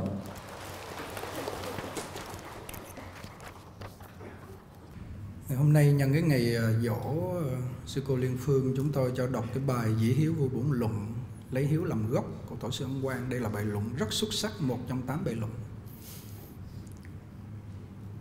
như vậy bây giờ cha mẹ mình mất rồi đó thì mình làm sao? Thấy tất cả cụ già người lớn tuổi hơn đáng mẹ cung kính như mẹ. Thấy tất cả chúng sanh gà vịt heo chó tôm cua cá ghẹ là cha mẹ không được ăn. Nếu tin đi làm chuyện này có thọ dụng lớn đó. Bình yên suốt cuộc đời còn lại đó còn nếu có những cái gì bất trắc khổ đau, đó là quả của quá khứ. Nhân quá khứ đã gieo, bây giờ phải nhận quả hiện tại. Đừng có nói cái chuyện phóng sanh đó là cái chuyện mà làm sao làm lành mà để gặp ác. Phải nên nhớ chỗ này. Chúng tôi nói một chỗ này một chút xíu đó. Ví dụ như hôm nay lên giảng, tâm lý tập trung lên đây ngồi nói với một cái cái suy nghĩ cao độ trong não cái tần số trong não bắt đầu nó rung động mạnh. Dĩ nhiên điều này là tốt. Nhưng mà gần như là chúng tôi để ý những buổi giảng thì ngủ không sâu, không nhiều. Mất ngủ từ từ từ từ từ từ. Cho nên ngài không làm giảng sư là cái chỗ này. Người nào có định lực Bồ Tát làm giảng sư tốt, truyền bá Phật pháp. Hôm nay mạc nhân giác nhàn, thực sự là công phu quá kém. Hôm trước giảng liên tục bảy mươi mấy bữa ăn cơm sáng xong. Đáng lẽ ăn cơm xong phải đi kinh thành bắt đầu giảng kêu mấy thầy, mấy chú, mấy cụ ngồi nghe lẽ dĩ nhiên cái điều đó không sai, nhưng mà điều đó có chướng ngại. Mất ngủ từ từ từ từ từ nơi cái tần số rung động của một cái bộ não. Nãy giờ quý vị ngồi nghe, rất êm, thâu vô thôi, không có phát ra để rung động cái bộ não. Thứ hai nữa, khi nói là nước miếng bắt đầu nó khô trong người mình mới tổn khí, bớt. Dĩ nhiên nó chút nữa nó sẽ hồi phục lại, nhưng mà cái chuyện này lâu ngày không tốt. Bữa nay không có cái chuyện ngồi pháp tòa nữa. Tết thỉnh thoảng cái gì đó lên chút tết một chút thôi không có cũng không sao. Người ta về người ta niệm phật là chính. Công đức rất thù thắng. Như vậy mình có phải bỏ họ không? Ai cần việc gì đó cứ viết thư gửi qua thầy nhận minh trước. Đến thầy tánh chúng tôi diệt kỹ cái lá thư đó và trả lời đúng trong văn sao vì quý vị không có thời gian để đọc trong văn sao khi quý vị có chướng ngại. Quá quá tốt rồi. Còn đạo tràng đó có sẵn. Cơm nấu nước, cơm nước sẵn cho mình ăn. Còn gì đâu mà phải phải nói nữa toàn bộ văn sao đã đủ hết rồi. Ấn tỏ nó trong ruột gan của tôi bao nhiêu tôi moi ra hết, không còn gì nữa. Ông gặp tôi để làm gì? Bản thân của chúng tôi cũng vậy. Học bao nhiêu trong văn sao moi ra hết, mà giờ học mà hành chưa tới nơi, chưa thành phiến, chưa nhất tâm nè, chưa biết ngày giờ giảng sanh. Đáng hổ thẹn với lại tổ phụ mình. Mà không bắt trước để mà đi nữa thì coi chừng tan xương mất mạng. Bắt trước đó là bốn điều. Không giảng sư nên nhớ, không trụ trì, không thâu đồ chúng không thọ pháp của ai. Mình hôm nay ba điều thôi. Mình thọ pháp của ấn tổ làm được được. Môi trường đây quá đủ điều kiện cho quý vị rồi. Đúng không? Lên hôm nay chúng ta gặp nhau nói như vậy. Chúng tôi nói một lượt hai tiếng xong rồi, cái người nhớ bao nhiêu đó, nhớ ít, nhớ nhiều. Mà chúng tôi là tổn tổn thương về cái khí lực nhiều nhất và mất mát câu Phật hiệu. Dĩ nhiên, bố thí pháp có phước phước đó so với khí lực với công phu một trời một vực. Khí lực với công phu khi ngồi đó hồi nãy có một đứa nhỏ phú yên đó lên. Chúng tôi nói niệm trong tâm được không? Nó à, anh quay lại trong tâm anh nhớ nhớ. Anh kêu được được được. Kêu làm như vậy lâu được không? Anh kêu chắc cũng có thể quên. Niệm ra tiếng coi nam mô a di đà phật nam mô di đà phật nam mô di đà phật. Kêu niệm nhanh quá không bền. Trong tâm thỉnh thoảng chuyển sang nhếch môi nam mô a di đà phật nam mô a di đà phật hai cái này xen với nhau mà giữ trong tâm thì thường xuyên hơn. Nhưng mà nếu mà cái này mà nhếch môi suốt ngày thì cũng tổn khí luôn. Hơi không giữ được nữa. Như bình hết hơi. Chết ngay. Chết ngay tức khắc luôn. Đã vô công phu tốn hơi, hàng ngày đi nói bu lu bu la, tinh thần tán loạn, rồi tiếp tục niệm thầm nữa, trong tâm không có câu nào là coi như người này vài bữa nữa coi như là giật cái giật cái giật cái giật tiêu. Niệm phật này kêu gọi là ma nhập. Không phải dễ. Hàng ngày không chịu giữ khí nó nói cho nhiều. Lên công phu nữa, toàn là tổn khí không? Cuối cùng cái giật cái giật mà chết luôn. Trong tâm rỗng tuếch không có một câu phật hiệu nào trong tâm. Làm sao dưỡng hơi được? Chỗ này là đại chúng nên liễu tri, thiệt là rõ. Và cái chuyện mà chúng tôi nói giúp cho cho chúng tôi và toàn thể quý vị trên toàn thế giới, mỗi ngày 10 triệu đó là mình báo hiếu, thả cha mẹ của mình của quá khứ đó. Tuy rằng còn ăn mặn, cứ việc làm đi, ngồi tại đó trước khi phóng sanh 15 phút, làm gì? Hồi hướng cho từng người trong gia đình mình, bản thân mình có tác dụng. Xong rồi làm lễ phóng sanh, xong là xong. Chúng tôi hồi hướng, hôm nay hôm nay có cái cái cái cái cái điều đó là mọi phật tử phải quan hỷ là mình gửi tên xuống đó, chúng tôi đọc mười mấy người rồi không đọc những người khác, rồi người ta sẽ suy nghĩ toàn bộ là phóng sanh tự mọi người hồi hướng hết. Có công đức không? Có. Không phải quý thầy hồi hướng là có công đức, quý vị hồi hướng không có công đức đâu, không phải. Hiểu vậy là sai hồi hướng đó là tất cả từ tâm tưởng sanh. Chính nơi bản thân quý vị hồi hướng cho gia đình quý vị, nó có cái sự hiết thống, nó có cái sự mà thương kính coi chừng hơn chúng tôi nữa đấy. Hiểu không? Pháp phóng sanh này lợi lạc lắm. Đừng có nghĩ thả con cá thấy bình thường nha. Cạn cợt nha. Không. Sau đấy. Bình thường phải không? Không, phi thường mỗi ngày làm không tốn đồng nào hết trơn. Vui vẻ, hoan hỷ. Ô, bữa nay phóng sanh ở khu chân tu. Có bữa chúng tôi lên, có bữa chúng tôi không lên. Thì gì? Bình thường. Không có gì đâu. Chúng tôi tuy rằng ngồi ở phía dưới niệm phật, vẫn thấy gì? Đại chúng phóng sanh, khỏi lên màn hình. Không sao đâu. Dặn trước như vậy, đừng nói, ô, bữa nay thầy nhàn ông đi đâu mất rồi, ông bệnh sao? Hôm bữa nói là chủ nhật giảng ngang thứ bảy phóng sanh, nói chiều tục lúa khí lực luôn, rồi lên hắn giảng không được. Không biết niệm trong tâm để dưỡng hơi. Chỗ này là chỗ chết.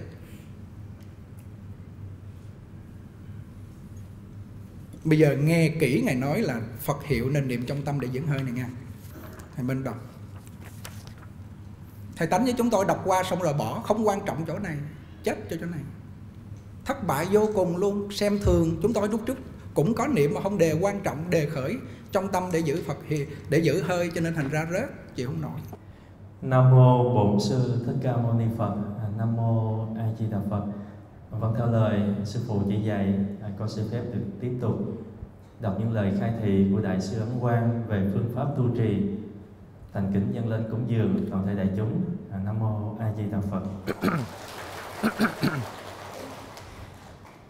Tổ sư Ấn Quang dạy phương pháp tu trì Nói đến chánh hạnh niệm Phật Thì ai nấy tùy theo sức mình mà lập Chẳng được chấp cố định một pháp nếu như thân không bận việc Cố nhiên phải từ sáng đến tối. Từ tối đến sáng Đi, đứng, nằm, ngồi. Nói năng yên lặng. Động tịnh, mặc áo, ăn cơm. Đại tiệm, tiểu tiệm Trong hết thảy thời. Hết thảy chỗ giữ cho một câu hồng danh thánh hiệu này chẳng lìa tâm miệng trong tâm thầm niệm phật hiệu để dưỡng hơi lúc nằm chỉ nên niệm thầm trong tâm, đừng nên niệm ra tiếng. Niệm ra tiếng sẽ tổn khí, lâu ngày sẽ thành bệnh. Đừng nên mù quáng dấy lên vọng tưởng, mong đắc thần thông. Đắc duyên pháp được tiếng tâm. Mong xây chùa dựng miếu, nếu có những thứ ý niệm ấy, lâu ngày chày tháng ắt sẽ bị ma dừa. Dẫu cho tâm đã tịnh, vọng bị khuất phục cũng chớ nên sanh lòng hoan hỷ, Tự khoe khoang với người khác. Có một phần bèn nói tới mười phần, Đấy cũng là cái gốc để bị ma dừa. Trích ấn quang, Pháp Sư Văn Sao Tam Biên quyển một, Thư trả lời Sư Minh Tâm. Lúc niệm Phật cần phải thâu nhiếp tai lắng nghe, Từng chữ từng câu chẳng để lũ qua. Lâu ngày chày tháng thân tâm sẽ quy nhất một pháp lắng nghe đúng là pháp quan trọng Trong pháp môn niệm Phật. Bất luận là ai áp dụng pháp này Đều có lợi chứ không có điều tệ, Công đức rất sâu. Chẳng như những pháp quán tưởng vân vân. Người biết pháp sẽ được lợi ích, Kẻ chẳng biết pháp phần nhiều bị tổn hại. Trích ấn quang Pháp Sư Văn Sao tục biên quyện thượng, Thư trả lời cư sĩ Lưu Huệ Dân. Người niệm Phật hãy nên cung kính chí thành Từng câu từng chữ trong tâm niệm cho rõ ràng rành mạch. Miệng niệm cho rõ ràng rành mạch. Nếu làm được như thế Dẫu chẳng thể hoàn toàn không có vọng niệm Nhưng cũng chẳng đến nỗi quá đáng. Có lắm kẻ chỉ mong lẹ, mong nhiều Thuận miệng niệm ao ao Cho nên không có hiệu quả. Nếu có thể nhiếp tâm Thì mới gọi là người niệm Phật thật sự. Đại Thế Chí Bồ Tát đã ví dụ, Như con nhớ mẹ, Trong tâm con chỉ nghĩ đến mẹ. Những cảnh khác đều chẳng phải là chuyện trong tâm chính mình. Vì thế có thể cảm ứng đạo giao, Lại nói Đô nhiếp lục căn tịnh niệm tương kế, Đắc tam ma địa tư vi đệ nhất. Nghĩa là nhiếp trọn sáu căn tịnh niệm tiếp nối. Đắc tam ma địa tức tam muội ấy là bậc nhất. Nói khiến cho tâm miệng tai đều nghe được rõ ràng Chính là pháp tắc nhiếp trọn sáu căn vậy. Tâm là ý căn, miệng là thiệt căn. Tâm và miệng niệm hợp cùng tai nghe Thì mắt mũi quyết định Chẳng đến nỗi rong ruổi theo bên ngoài. Thân cũng chẳng đến nỗi láo sườn, phóng túng. Người đời nay niệm Phật, phần nhiều đều chẳng chịu nỗ lực, Nên không có hiệu quả gì. Tu tập tịnh độ hãy tùy phần tùy sức.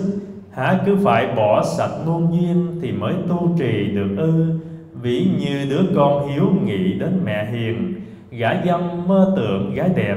Tuy hàng ngày bận biểu trăm bề, Một niệm ấy không có lúc nào quên bận.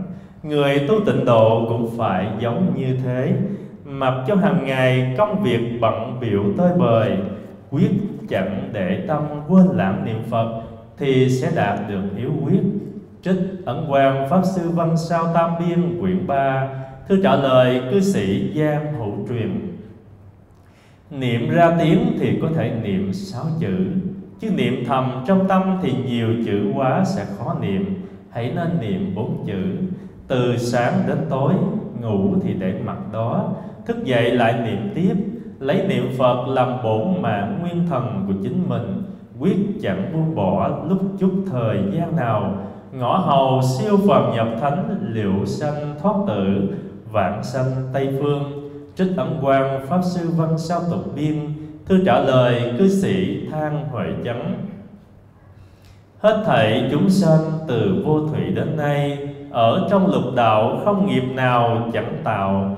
Nếu không có tâm tu hành, Sẽ đâm ra chẳng cảm thấy có những ác niệm cổ quái, hiếm lạ ấy. Nếu phát tâm tu hành, sẽ cảm thấy những thứ ý niệm ấy càng nhiều hơn thêm. Đây chính là do chân vọng soi lẫn nhau mà hiển hiện, Chứ không phải là trước kia không có, Chỉ là do chúng chẳng hiện rõ mà thôi.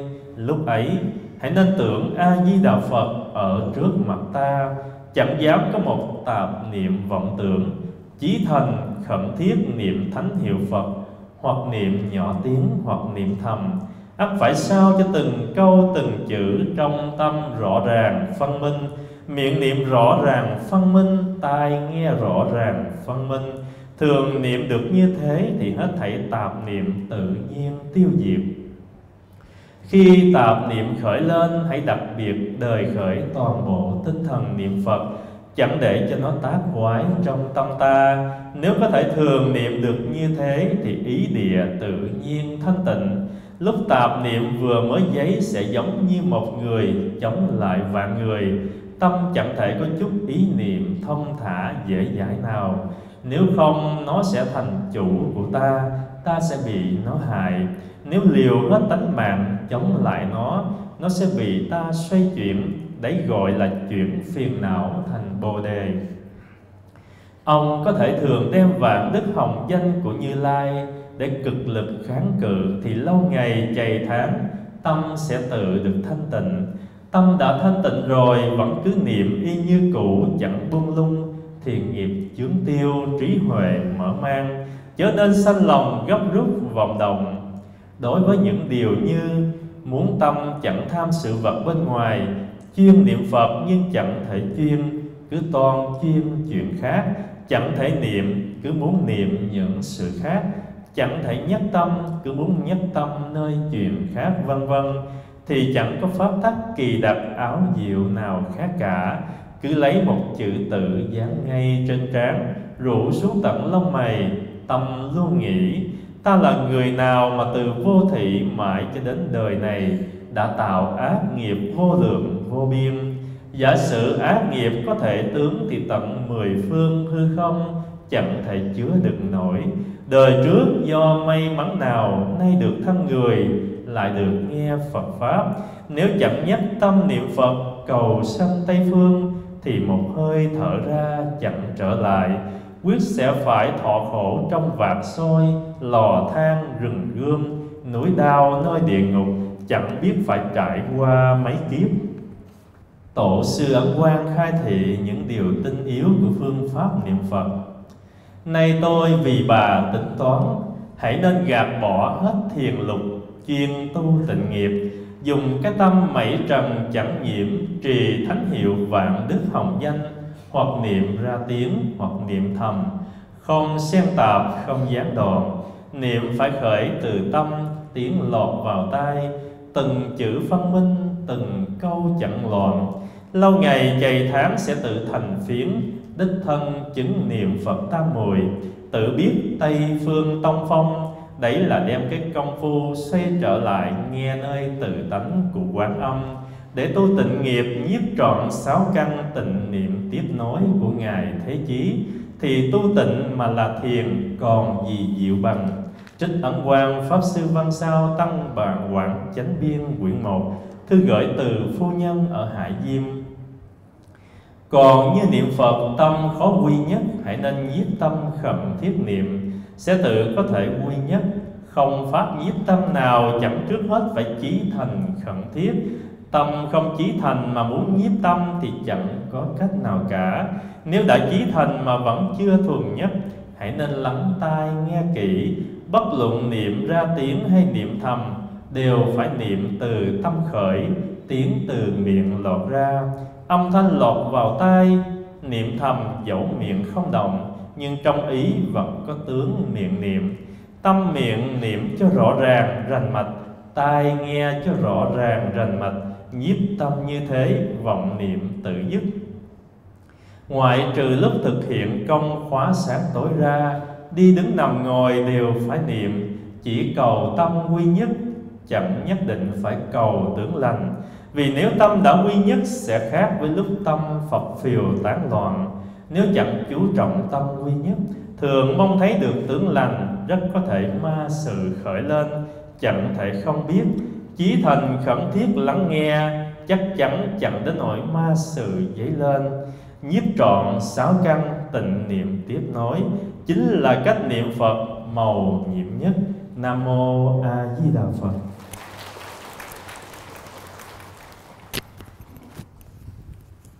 Buổi giảng hôm nay và cái, những cái lá thư này tương đối khá là quan trọng.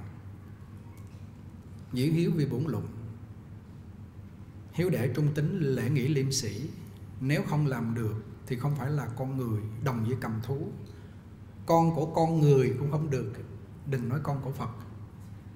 Thì không phải con của con người là do họ bỏ bác đức hiếu đệ trung tính lễ nghĩa liêm sĩ họ con của ai con của súc vật. Hiện đời là con của súc vật.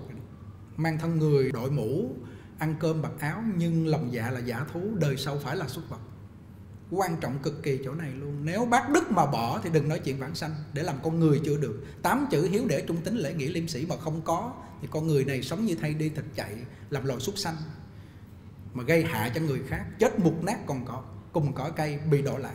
Chỗ này quan trọng, phải hiểu cho rõ chỗ này. Dầu là tôi tu sĩ. Tu sĩ phải thấy những người già là mẹ ruột của mình. Thí dụ thầy nhuận minh mẹ thầy mất rồi, thầy phải thấy một bà cụ già đang nằm giật giật giật thở không nổi nữa phải thôi cô giống như mẹ mình chăm sóc kỹ chỉ cho họ liền để cho họ chết thì họ chết đi thì mình coi như xong không không đủ lòng hiếu Ví dụ như thầy Tánh là nói giờ mẹ ruột của thầy trên này, ba ruột của thầy ở trên này, thầy ở dưới đó có phải bất hiếu không? Ba mẹ thầy vẫn đang yên ổn trên này. Bây giờ thầy đang sống với các cụ già, xem các cụ già như mẹ, như ba của mình, như cha, như mẹ của mình đó thì mới gọi là chọn chữ hiếu. Thầy hay thắc mắc chỗ này. Hôm nay chúng tôi đọc kỹ lại mới thấy ngay chỗ này ngài nói chữ hiếu. Coi súc sanh đó là cha mẹ mình, cung kính. Chứ không phải hiếu trong phạm vi của thế gian là cha mẹ mình mình mới gọi là có hiếu. Mà chưa chắc gì trong thế gian cha mẹ họ họ tròn cái chữ hiếu đâu họ lo trọn vẹn đủ đâu. Huống hồ chi là cái chuyện mà súng sanh họ ăn cho đã đời chứ đừng có nói chuyện có hiếu. Còn mấy bà già kia chết mặc kệ đi. Thì người này chỉ là một làm con người thôi. Lâu ngày trở thành súc sanh chứ kêu làm phật không được. Cái chỗ này phải hiểu. Hôm nay là đầy đủ hết rồi chúng tôi nói là không có thiếu gì trong ngày hôm nay hết. Tu nữa hay không chứ đừng có nghe nhiều, đừng có nói nhiều nữa.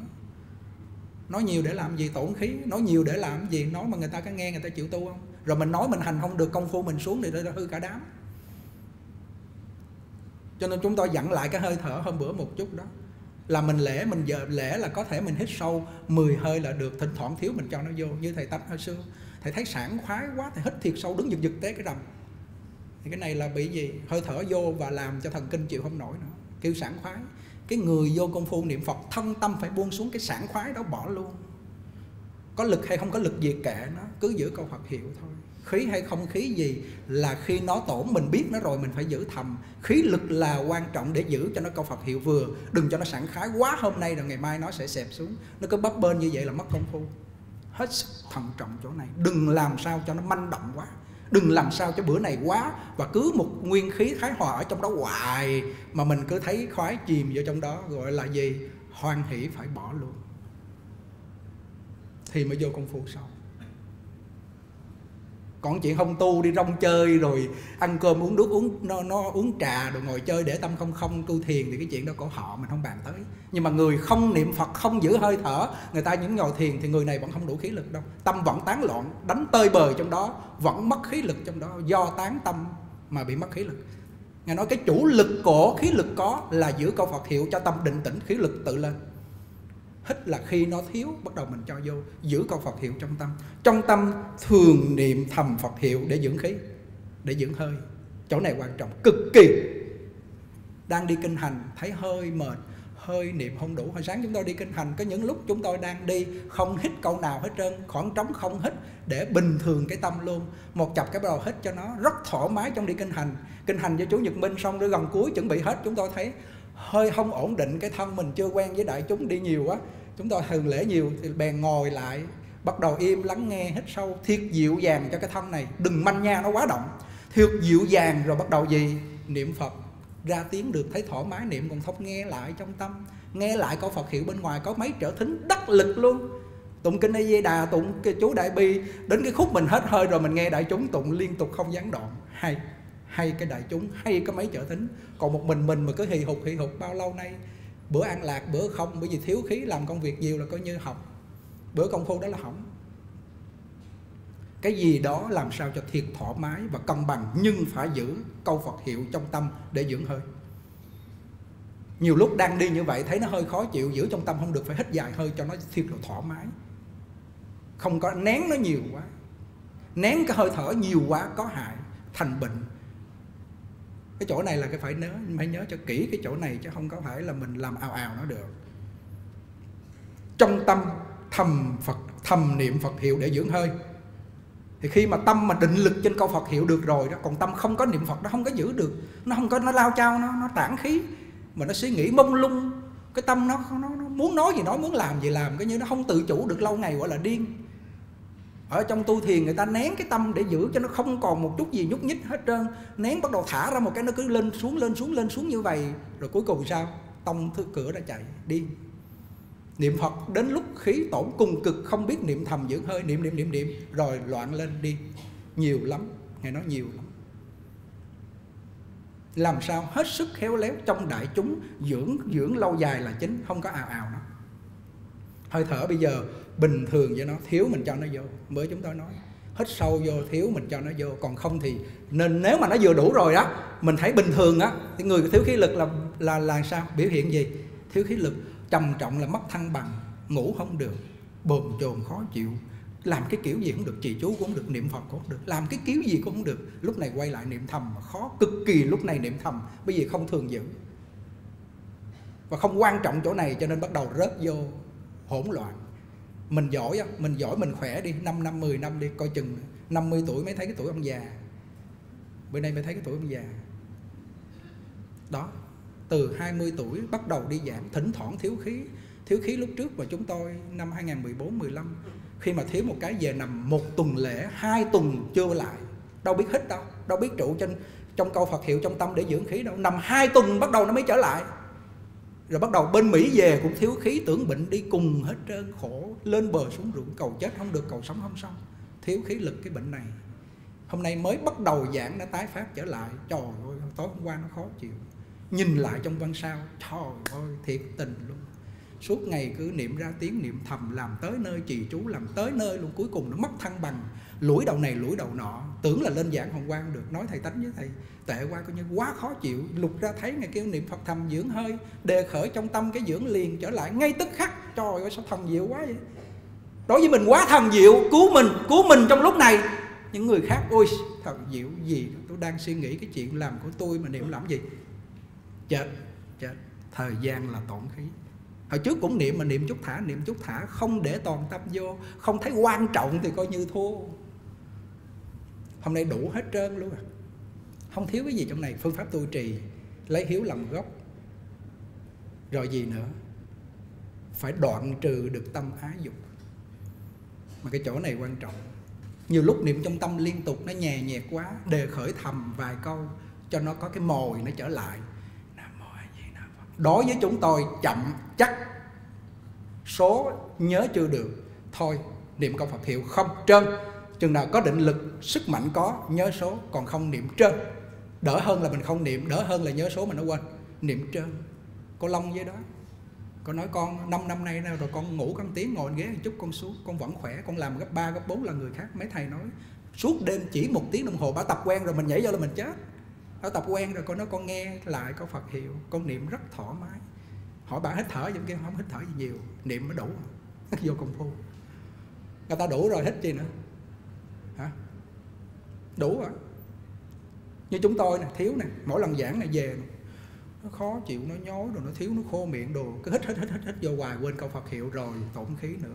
Hít mà không biết cách cứ giữ cái câu Phật, không giữ câu Phật hiệu mà hít hoài cũng tổn khí luôn. Tâm lực tổn tổn tâm lực. Trao ra trao là trao đảo liền. Khó vô cùng cái chuyện này, hết sức thận trọng, phải giữ bộ văn sao cho chắc thì mới yên được, chứ không thôi còn nhiều cái chuyện nó trở ngại với cái gì đó hôm nay thực sự chúng tôi nói không phải khoe khoang là ta đây là giỏi, thực sự là dở dở quá trời dở luôn. Vì sao dở vậy? Niệm phật không vô công phu nổi, tổn khí rồi tác tâm rồi, do mình suy nghĩ đủ thứ hết trơn. Đó, bao nhiêu chuyện ở trên này, mỗi khi buổi lễ quý vị có cái ghế ngồi, quý vị tưởng là đơn giản không? Xếp ra rồi nấu ăn rồi chai tăng sao, cái đầu này coi như nó rối vô một cái gì, bong bong. Mà nếu mà tâm lực không có, khí lực không có nữa thì gì? Chịu không nổi chịu không nổi với bao con người này. Như vậy mình có phải bỏ bỏ lợi tham không? Vẫn tổ chức cho họ tu đàng hoàng. Nhưng mà phải lợi mình à cho tổn hại mình không có công phu là coi chừng mình tiêu á. Rồi họ say suy nghĩ sằng bậy. Họ nói mình tu lạc vô đường ma, đường tà rồi cuối cùng cái là mình trở ngại là mình mất niềm tin với họ. Bao nhiêu công sức mình bỏ hết. Nguy hiểm vô cùng chứ không phải đơn giản cái chuyện này đâu nay chúng tôi nói để cho quý vị hết sức thận trọng, đừng có kêu hướng dẫn người ta tu là mình được đâu ngang. Mình phải tu làm sao cho có kết quả đó. Lợi người mà tổn mình thì coi như thất bại rồi. Lúc trước chúng tôi cũng thầm tao có Phật hiệu thì nó yên, nhưng mà không đề khởi quan trọng chuyện này, cho nên thành ra khi nó mất câu Phật hiệu trong tâm là chơi giới. Hôm qua chúng tôi nói cô Phật tử, chúng tôi nhắn tin nói câu Phật hiệu này giống như máu, giống như hơi thở. Nếu người nào thường niệm nó quen rồi đó thì khi mà thấy nó vắng, khi mà nó giảm xuống rồi một cái giống như là hết hơi thở, hết máu, người này sẽ chết. Chết trong điên loạn. Còn ngoài đời, họ họ làm ba cái chuyện gọi rằng là làm ăn, họ chạy theo đó, họ khổ biết bao nhiêu mà họ nghĩ họ vui trong đó thôi. Thực ra vẫn khổ trong vui đó. Vẫn khổ trong vọng tưởng mà họ thấy bình thường. Chứ mà đề khởi câu Phật hiệu liên tục, cho nó thành khói trong đó rồi khi nó mất rồi mới thấy cái khổ của nó. Đó, quý vị coi kỹ lại coi, theo vọng tưởng, theo công việc, không có niệm Phật, nó khổ, quý vị biết cỡ nào không? Lấy khổ làm vui có một chút xíu danh lợi, có một chút xíu ta đây, có một chút xíu làm giảng sư, rồi chết chìm trong đó luôn. Câu Phật hiểu mất là tan xương mất mạng luôn. Lẽ dĩ nhiên những người tu pháp môn khác chúng ta không nói, mà tu pháp môn niệm Phật, làm sao phải giữ được câu Phật hiệu là niệm thầm niệm thầm mới đầu nó dễ quên, vô cùng. Nó nhạt nhè, nó chả có một thú vị gì. Nhớ số nhớ còn không nổi. Cô lâm có nói, con nhớ số, con quên Phật hiệu thôi con thả số đi. Rau gầy nói, như vậy mình có thể nhớ số không? Lễ Phật phải nhớ số kinh hành nhớ số, nhiều lúc mình nhớ không nổi, thả luôn số, nhớ câu Phật hiệu. Hai cái, làm không được hai cái, phải là một cái. Người ta đủ khí lực, người ta đủ cái trí, cái cái cái định lực họ có, họ nhớ số tốt. Ấn tổ nói, có những lúc tôi tôi nhớ số, những lúc tôi niệm thẳng. Như vậy không phải mình nơi đây mình đời sướng cái nhớ số rồi mình bỏ. Phải nhớ số, trong lúc kinh hành nhớ số là tuyệt. Trong lúc lễ phật, hai thời nhớ số là tuyệt. Phải nhớ số, còn đi bình thường niệm trơn từng chữ từng câu lâu ngày sức định rồi bắt đầu mới nhớ số. Đó là những người bình thường, mọi người ai cũng tu được, chứ đừng có bắt họ phải nhớ số mới niệm phật. Không nhớ số được, không niệm phật là chết rồi. Mà niệm làm sao để dưỡng hơi, trong tâm. Tiếng niệm phật phải rõ ràng từ tâm khởi, thốt ra miệng khi công phu, khi niệm thầm. Nhưng trong tâm vẫn nghe, đừng thốt ra hoài hoài hoài, dầu là niệm thầm cũng tổn khí khi tổn khí rồi, khổ đau cực kỳ, khó chịu, mất thân bằng, không ngủ được, như điên loạn, hết sức thận trọng. Đó, bà chị bà chị cúc đang ngồi ở dưới này, ở trước chị đại bi nghe. Họ thường tiên khó nói ngàn trăm lẻ tám là sẽ được, ba năm sẽ được cứ ngồi. Tiên tượng nhà, ngài đại bi, tâm nào là ni nam mô ra nam ra hít ừ, thiệt ngắn, bắt đầu tức ngực, nhói, khó chịu, bệnh bao nhiêu lâu, khó chịu, tu 3 tháng nó bệnh, một tháng mà nó bệnh, nó khó chịu, kêu lên đây hít thở để trì thoải mái, bữa nay hết cho nó bệnh này là ho ra máu chết luôn á. Ổ vì sao chị chú đệ bi mà bị lại? Bị bị ho ra máu vậy? Bị bị bị bệnh vậy? Là do gì? Tổn khí. Không biết hít hít vừa phải thôi. Hít nhiều quá, dùng hết lực rồi cái tâm không còn lực để niệm phật nữa tụt lốt luôn. Coi chừng.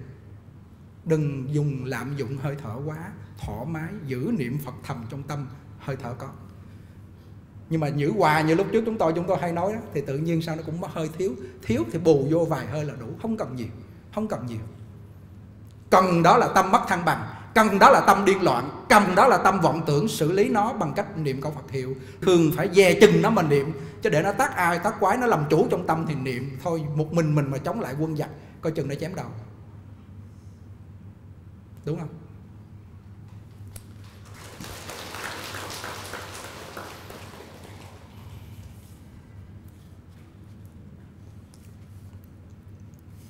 Thì hai cái lá thư này mới 10 rưỡi chúng tôi nói với 11 giờ, hai tiếng đồng hồ, biết bao nhiêu khí lực nó ra.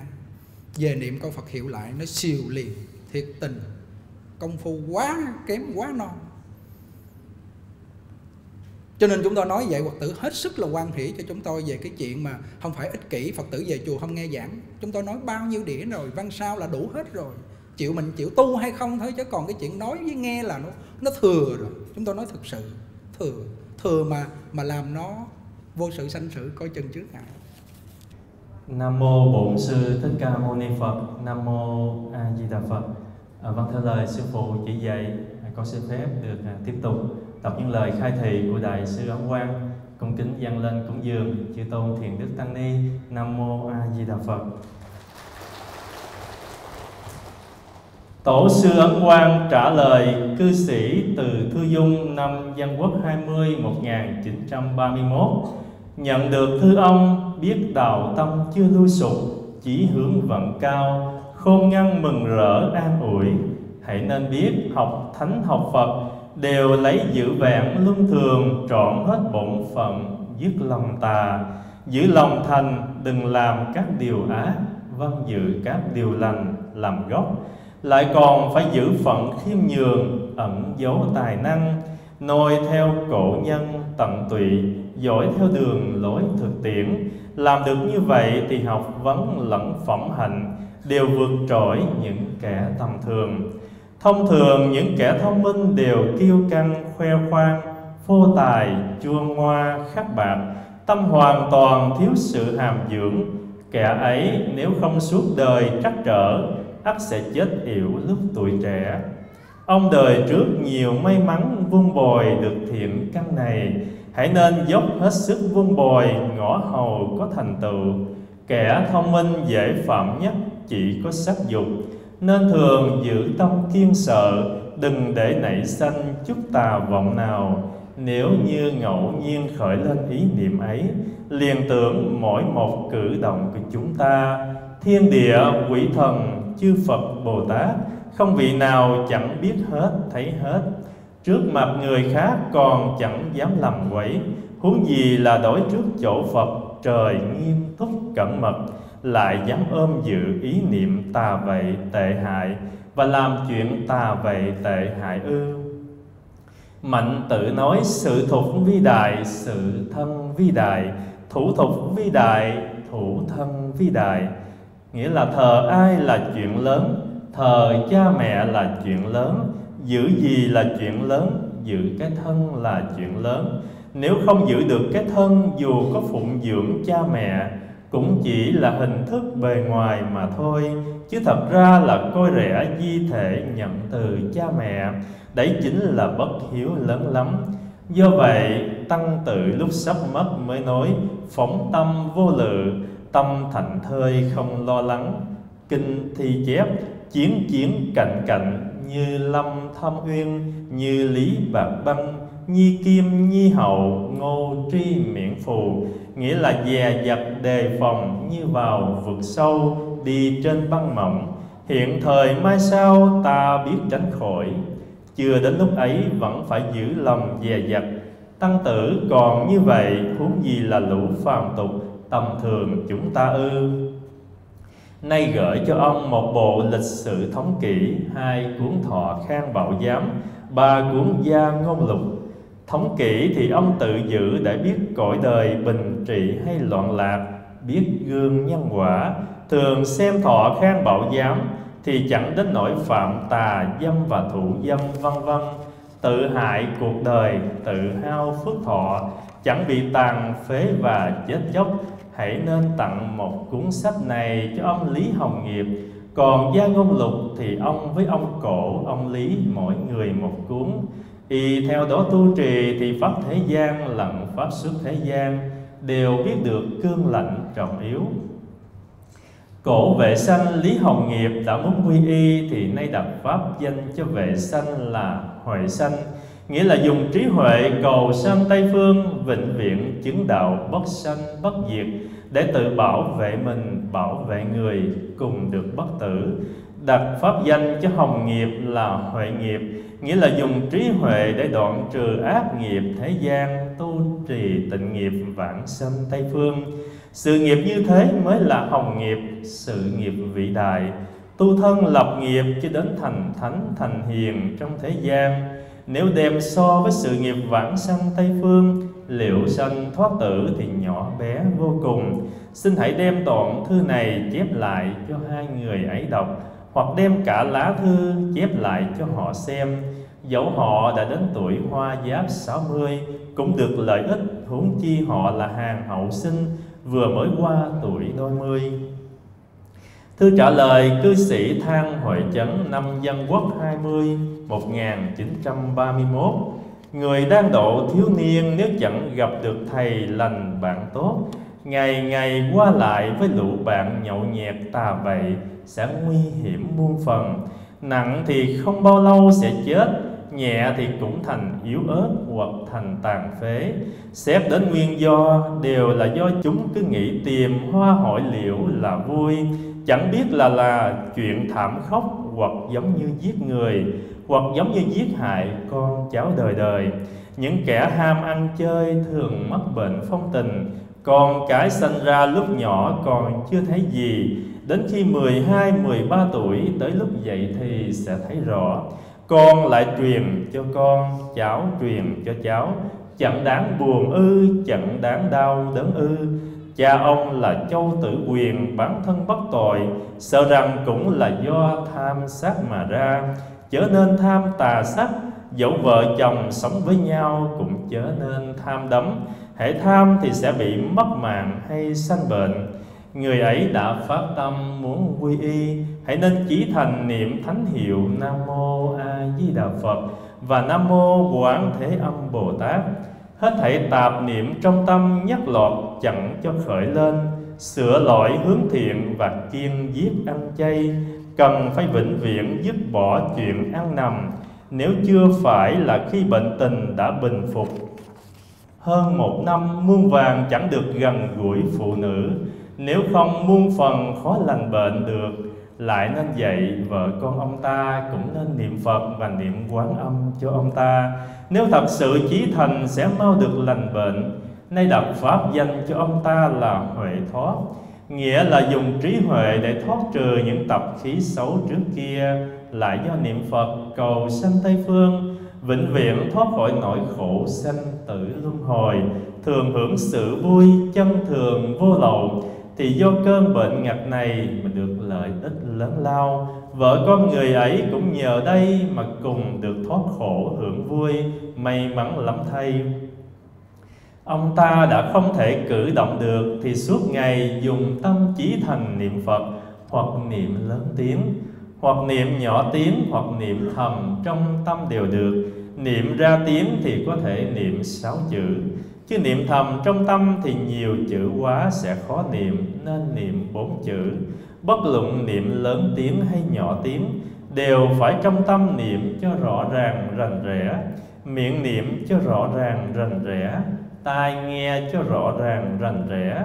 Tuy chẳng thể lễ bái, Trong tâm thường phải giữ lòng cung kính như đối trước Phật, Như té vào lửa nước cầu xin cứu giúp. Trọn chẳng dám khởi một tâm niệm không chánh đáng. Từ sáng đến tối ngủ thì để mặt đó, thức dậy lại niệm tiếp. Lấy niệm phật làm bổ mạng nguyên thần của chính mình, thì sẽ có thể tiêu trừ nghiệp chướng, tăng trưởng thiện căn có thể hy vọng lành bệnh yên thân, lành bệnh rồi vẫn chẳng được buông bỏ. Cứ tiếp tục niệm phật, ngõ hầu siêu phàm nhập thánh, liệu sanh thoát tự vạn sanh tây phương. Hiện thời là tình thế hoạn nạn, nếu chịu chí thành niệm phật, liền có thể gặp giữ hóa lành. Hàng nữ nhân trong nhà nếu chịu niệm phật chắc chắn chẳng mắc họa sanh khó. Dẫu là người lúc bình thường chẳng niệm phật đến khi sanh nở, sanh không được, chịu chí thành niệm nam mô quán thế âm bồ tát, chắc chắn sẽ tức khắc an nhiên sanh nở. Trở nên nói lõa lồ bất tịnh, niệm sẽ mắc tội. Trong lúc bình thường thì cần phải cung kính sạch sẽ. Nếu mũ áo không tề chỉnh, thân thể chẳng sạch sẽ, hoặc đang tắm rửa tiêu tiểu. Và khi ngủ nghỉ đều nên niệm thầm trong tâm, chớ nên niệm ra tiếng chỉ khi sanh nở nên niệm ra tiếng, đừng nên niệm thầm. Những người săn sóc chung quanh cũng niệm giúp cho người ấy, thì đôi bên đều có công đức lợi ích. Nên đưa thư này cho ông ta xem, và làm cho hết thảy mọi người đều biết thì mới có lợi ích cho ông ta được. Tổ sư Ấn quan khai thị khi con đã hiểu chuyện đời con người một đời thành hay bại đều là do lúc niên thiếu nhiều phen tài bồi mà ra. Người đã thành đồng phải biết tốt xấu, trọn chẳng được học đòi những thói thời thường. Hãy nên học hiếu, học để học trung hậu, thành thật. Trong lúc tuổi trẻ này, tinh lực cường tráng nên nỗ lực đọc sách. Phàm đọc qua những sách gì nên nghĩ đến những điều sách đã nói phải hành theo điều đó chẳng phải là đọc xong rồi thôi. Những điều sách nói nếu chẳng dễ lãnh hội thì âm chắc văn, cảm ứng thiên vân vân đều là nói thẳng, hãy khéo lãnh hội. Hãy nên thường đọc, thường ngẫm nghĩ, sửa lỗi, hướng thiện. Trong lúc rảnh nên niệm a di đà phật và quán thế âm bồ tát để mong tiêu trừ nghiệp chướng tăng trưởng phước huệ. Chớ cho như vậy là nhọc nhằn cổ ngữ nói, trẻ khỏe không nỗ lực già lớn luôn buồn thương. Lúc này nếu để lỡ làng quan âm, sau này dù có nỗ lực cũng khó thành tựu. Bởi thời giờ đã qua, sức nhớ đã kém. Học phải dùng sức nhiều nhưng hiệu quả ít ỏi. Thứ nhất phải làm một người tốt, thấy người hiền mong được bằng. Thấy người không hiền trong lòng tự cảnh tỉnh. Thứ hai là phải biết nhân quả báo ứng nhất cử, nhất động, chớ mật tình phóng ý. Cần phải nghĩ việc này có ích lợi gì cho mình, cho người thân và cho mọi người hay không? Chẳng những làm việc như thế mà ngay cả suy nghĩ, động niệm cũng nên như thế.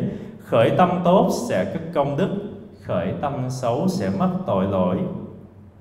Phải nghĩ mong được quả báo tốt, phải giữ tâm tốt. Nói lời tốt, làm chuyện tốt, có lợi cho người và vật vô hại cho mình người mới nên.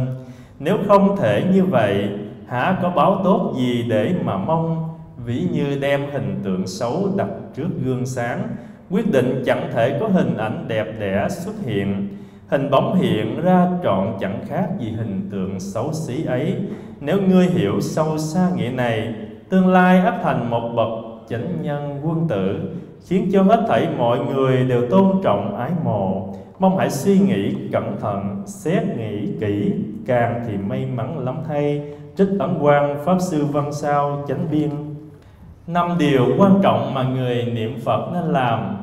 Một, thư trả lời đại sư ứng thoát, thư thứ hai, trích tam biên, quyển một. Điều một, hãy nên tìm một nơi chân thật tu đạo, giữ tâm khiêm hạ, chết sạch những vọng động, tu trì tịnh nghiệp so ra có ích hơn hàng ngày du hành bôn ba dọc nhằn. Kệ đề trên vách quan phòng chùa Bảo Quốc ở Tô Châu, năm Dân Quốc 24 1935 Sống uổng 70 năm, tháng ngày chẳng còn mấy.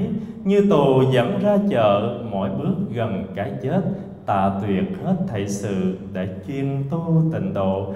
Nếu hiểu lòng ngu thành mới là chân liên hữu.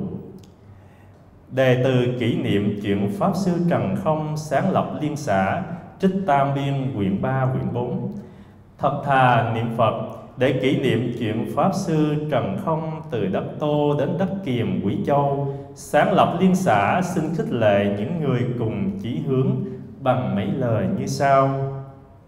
Xót thương chúng sanh trong cõi đời, Căn độ nghiệp nặng, chỉ có niệm Phật thì mới chắc chắn mong thoát được sanh tử. Hãy nên quán tưởng như tù nhân bị dắt ra chợ để hành hình. Mỗi bước càng gần với cái chết hơn, Phàm những vị có cùng chỉ hướng niệm Phật với tôi, ắt đều phải niệm niệm trừ sạch các duyên, Quyết muốn giữ lòng tin chân thật, Nguyện thiết tha. Hãy nên tu chánh hạnh niệm Phật, Dùng tính nguyện dẫn đường, Lấy niệm Phật làm chánh hạnh. Ba pháp tính nguyện hạnh Chính là tông yếu của pháp môn niệm Phật. Do bốn chữ hồng danh chẳng rời niệm, Tiếng niệm Phật chẳng ngừng. Tâm và Phật tự nhiên khế hợp, Tam muội sẽ tự thành. Điều hai, Nghĩ không còn sống lâu trong thế gian. Cái chết có thể đến trong sớm tối. Nào có dám xen vô chuyện người khác? Số 13 Thư trả lời Đại sư ứng thoát. Thư thứ tư, Trích Tam Biên, quyển 1 và 2 Điều ba, Người tu tịnh nghiệp cần phải nghiêm trì tịnh giới sanh lòng tin chân thật. Phát nguyện thiết tha, chỉ thành cung kính, trì danh hiệu Phật. Bất luận niệm ra tiếng hay niệm thầm đều phải nhiếp tai lắng nghe. Thường nghe thấy tiếng niệm Phật, tâm sẽ tự quy nhất. Cách này ổn thỏa, thích đáng nhất. Bất luận thượng trung hạ căn đều được lợi ích Trọn không lo bị bệnh. Thư trả lời Sư Minh Tâm Trích Tam Biên quyển 1 2 Đừng nên mù quáng dấy lên vọng tưởng Mong đắc thần thông, đắc duyên pháp Được tiếng tâm mong xây chùa dựng miếu. Nếu có những thứ ý niệm ấy Lâu ngày chày tháng ắt sẽ bị ma dừa. Nếu chẳng nói toạc những điều này với ông sợ rằng ông sẽ tưởng những ý niệm ấy là tốt. Vọng tưởng ngày ngày tăng trưởng chắc chắn sẽ bị ma dựa không còn ngờ chi. Điều bốn, dẫu cho tâm đã tịnh, vọng bị khuất phục, cũng trở nên sanh lòng hoan hỷ, tự khoe khoang với người khác. Có một phần bèn nói tới mười phần, đấy cũng là cái gốc để bị ma dựa. Phàm có ai đến thăm đều khuyên người ấy niệm phật, cầu sanh tây phương điều năm gặp bất cứ ai đều khuyên họ niệm phật cầu sanh tây phương. Lá thư số 1 đại sư tự thuật trích trong văn sao tam biên. Từ khi đến linh nham, bất cứ danh lam thắng cảnh nào, tôi cũng đều chẳng tới xem bởi chí chỉ mong vãng sanh, chẳng bận tâm đến danh lam thắng cảnh. Mỗi ngày lượng theo sức mình niệm phật và trì chủ đại bi để làm căn cứ tự lợi lợi tha suốt đời chẳng thâu nhận một đệ tử xuất gia nào, chẳng nhận làm trụ trì chùa nào cả. Thư trả lời, cư sĩ khuất văn lục, thư thứ hai, trích văn sao, tam biên, lại thấy nhiều người thâu nhận đồ đệ cho nhiều, đều chẳng phải hạng người tu hành thật sự. Do vậy, phát nguyện chẳng thâu nhận đồ đệ. Do thấy sự hèn hạ của tăng nhân hướng về người khác hóa duyên nên chẳng nguyện làm trụ trì, làm pháp hội.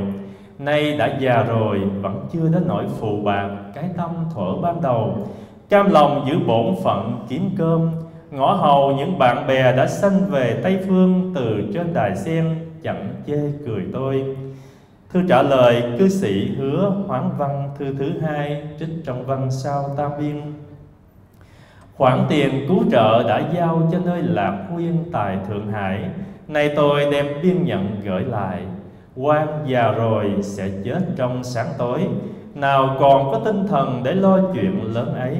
Nhưng từ năm dân quốc thứ bảy 1918 đến nay, quan lưu thông các kinh sách đều vì nhiệm vụ cấp bách ngăn ngừa để dứt tai họa. Chỉ không theo đuổi công việc thành lập đội lạc quyên cứu trợ mà thôi lời ông nói chỉ là biết một phía chứ chẳng biết tới hai. Quan từ khi xuất gia đến nay phát nguyện chẳng trụ trì chùa miếu, chẳng thế độ đồ đề, chẳng dự vào các hội đoàn. Từ năm dân quốc thứ bảy đến nay, các đoàn thể từ thiện các nơi đem sổ vàng gửi tới cho quan.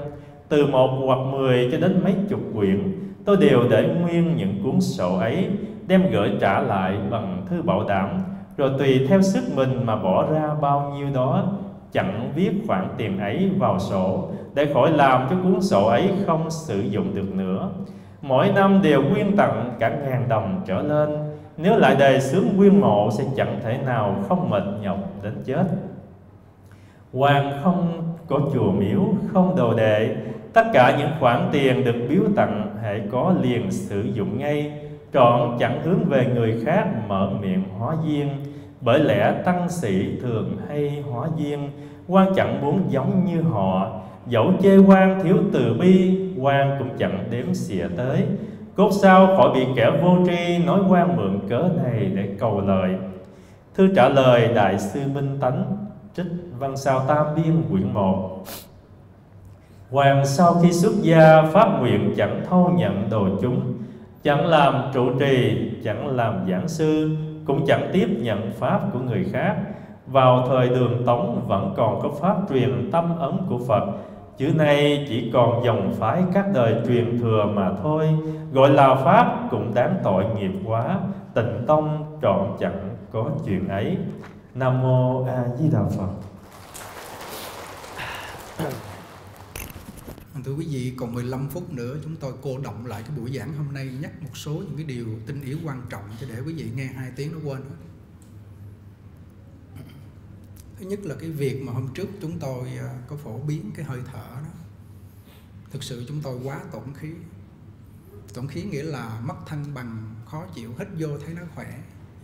Đúng, đúng sự thực như vậy. Có những lúc lễ Phật đồ mình hít vô nó khỏe, nhưng mà dùng nó quá đi nữa, cứ tập trung hơi thở, rồi từ từ bắt đầu câu Phật hiệu nhạt nhòe, lầm lầm, hơi thở thì mạnh, cái mạnh không đáng cho nó mạnh quá. Cái lực, cái sức mình thực sự niệm được câu Phật hiệu thì mình niệm thôi. Nó không thiếu thì thôi, chứ đừng có bù quá cho nó, có trở ngại. Dùng hơi thở không khéo bệnh, như hồi nãy chúng tôi nói cô lợi cô không ngủ được mà cô giật giật giật, đó là bệnh. Ngồi dậy, nhiếp tâm câu phật hiệu hết ngay. Trời ơi, đúng thiệt, băng sao, cứu bà lợi. Thôi sáng nay đưa hậu niệm, bà chết mất tôi mạng bà rồi cái người mà lúc lâm chung hơi thở không giữ được nữa, hốt hoảng thở lên thở lên, tâm tán loạn phần nhiều. Có ai lúc đó niệm phật được không? Người họ niệm phật ra đi, khí lực họ phải đầy đủ. Hôm bữa chúng tôi nói phòng hộ niệm phải thường để cho họ ngồi dậy và nghe tiếng Phật hiệu, nằm miết thiếu khí lực, cứ nghe cái tâm nó chạy ra ngoài rồi khô môi, khô miệng, tán loạn lên. Cái chỗ này quan trọng, cực kỳ là quan trọng đối với tôi cái buổi hôm nay để cho mọi người tu tịnh độ. Cái gì không quan trọng, mình cho nó vừa đủ là hơi thở, vừa đủ là được. Nó thiếu mình bù vô, thiếu là lúc nào? Nó hơi chóng quán nó hơi khó chịu. Mà đang niệm phật đó mà thấy nó hơi khó chịu là biết thiếu hơi thở, bồi nó vô một chút xong. Lẽ thập niệm cho nó một chút, được ép nó quá. Rồi bây giờ mình ngồi nghe pháp, không buồn ngủ, thì thôi cứ để nghe chứ làm gì mà làm cho nó quá trong đó vậy. Không nên. Mấy thầy hít không quen, mấy thầy chúng tôi nói cũng đâu có hít được đâu. Phải hít vô, thấy hơi thở nó vô dưới ngực, nó xuống cái bụng dưới, nó phình ra vài hơi nhẹ nhàng, dễ chịu, được. Phải dùng nó. Hơi thở rất quan trọng, phải dùng nó. Mà dùng quá là bệnh. Nhưng câu phật hiệu niệm trong tâm, vô hại vô hại. Hay hay. Thượng căn, trung căn, cỡ nào giữ từng chữ rõ ràng còn cái việc nhớ số thì dĩ nhiên là ngài nói, nếu không chí thành không khẩn, nếu chí thành khẩn thiết niệm mà không trừ được mới dùng cái cách nhớ số. Còn đã là vọng khúc được rồi, chí thành và đang niệm yên thì giữ nó như vậy. Giữ nó yên từng câu phật hiệu. Tức là đừng phải chấp vào một cách gì cố định, hồi nãy ngài nói, cứ giữ phải là nhớ số, không nhớ đứa số là không niệm. Không được. Cái chỗ này phải quyền biến hết sức thận trọng á. Thì tánh không kêu còn ép nó phải là nhớ số, thì thầy đủ khả năng thầy làm được đúng không thầy đủ khả năng, nhưng mà ép một thời thôi. Đến lúc nào đó ép không nổi nữa. Ép không nổi nữa. Thì sao? Niệm bình thường, niệm lớn tiếng, niệm thầm, niệm trong tâm dưỡng hơi là chủ lực. Nhớ số tốt, không nhớ số niệm trơn. Thoải mái, cực kỳ, nhưng phải nghe cho rõ trị được cái vọng tưởng là quan trọng. Mấy thầy nhiều lúc, mấy thầy đọc vô, mấy thầy tưởng, mấy thầy hiểu, mấy thầy làm được. Có chướng ngại, mỗi người, mỗi cái nghiệp chướng nó khác nhau. Ví dụ thầy tánh ông hít thở, ông thấy bình thường, vô hại nhưng mà bà lợi bà hít có, có, có chuyện. Cái pháp này cho người ta chỉ là quan trọng thì có hại đấy bệnh đấy. Còn niệm phật là vô hại sợ họ hay niệm không được thôi. Còn không niệm phật nữa thì thôi hại khỏi nói rồi. Vọng tưởng điên đảo ai mà kêu rằng là không niệm phật mà được thanh tịnh tuyệt đối đang sống trong thể tánh thanh tịnh không? Có. Các vị thiền sư các vị bồ tát tái lai tâm họ định nhiều đời nhiều kiếp. Còn tâm mình là điên loạn để nó nghĩ một ngày biết bao nhiêu vọng tưởng không nghĩ riết tâm yếu nhớt không còn một sức sống rồi ở trong nhà chịu không nổi, phải chạy đi ra bên ngoài để để để gì? Để cho nó thay, nó thoải mái với cái vọng tưởng đó. Nó mạnh đến mức độ nó nghĩ cái là đi liền. Xuống biển tắm đi, xuống biển liền. Ra chợ cái đi chợ liền. Đi vô shopping nó đi liền. Nó mạnh cực kỳ. Nó là chủ đạo rồi. Nó là chủ đạo rồi. Nó là chủ lực rồi. Không cản nó được. Thì đừng có nghĩ đó nữa. Chuyển sang nghĩ phật. Thử coi nó làm sao. Khác liền. Mà nghĩ ào ào ào ào ào, niệm ào ào ào thì con người này không bền. Giỏi lắm. Một năm, hai năm cũng tụt luôn càng niệm càng bệnh. Đó là cái việc thứ hai. Cái việc thứ ba, mỗi buổi sáng phóng sanh thì trước khi phóng sanh ăn cơm xong thì thầy tánh có đọc văn sao, mỗi ngày một lá, hai lá thôi. Mưa dầm thấm lâu, mọi người bất cứ ở đâu trên thế giới, đúng sáu rưỡi sáng là bật lên thấy văn sao phát trực tiếp trên trang web, ngồi nghe vài lá thôi, có mình trọng á.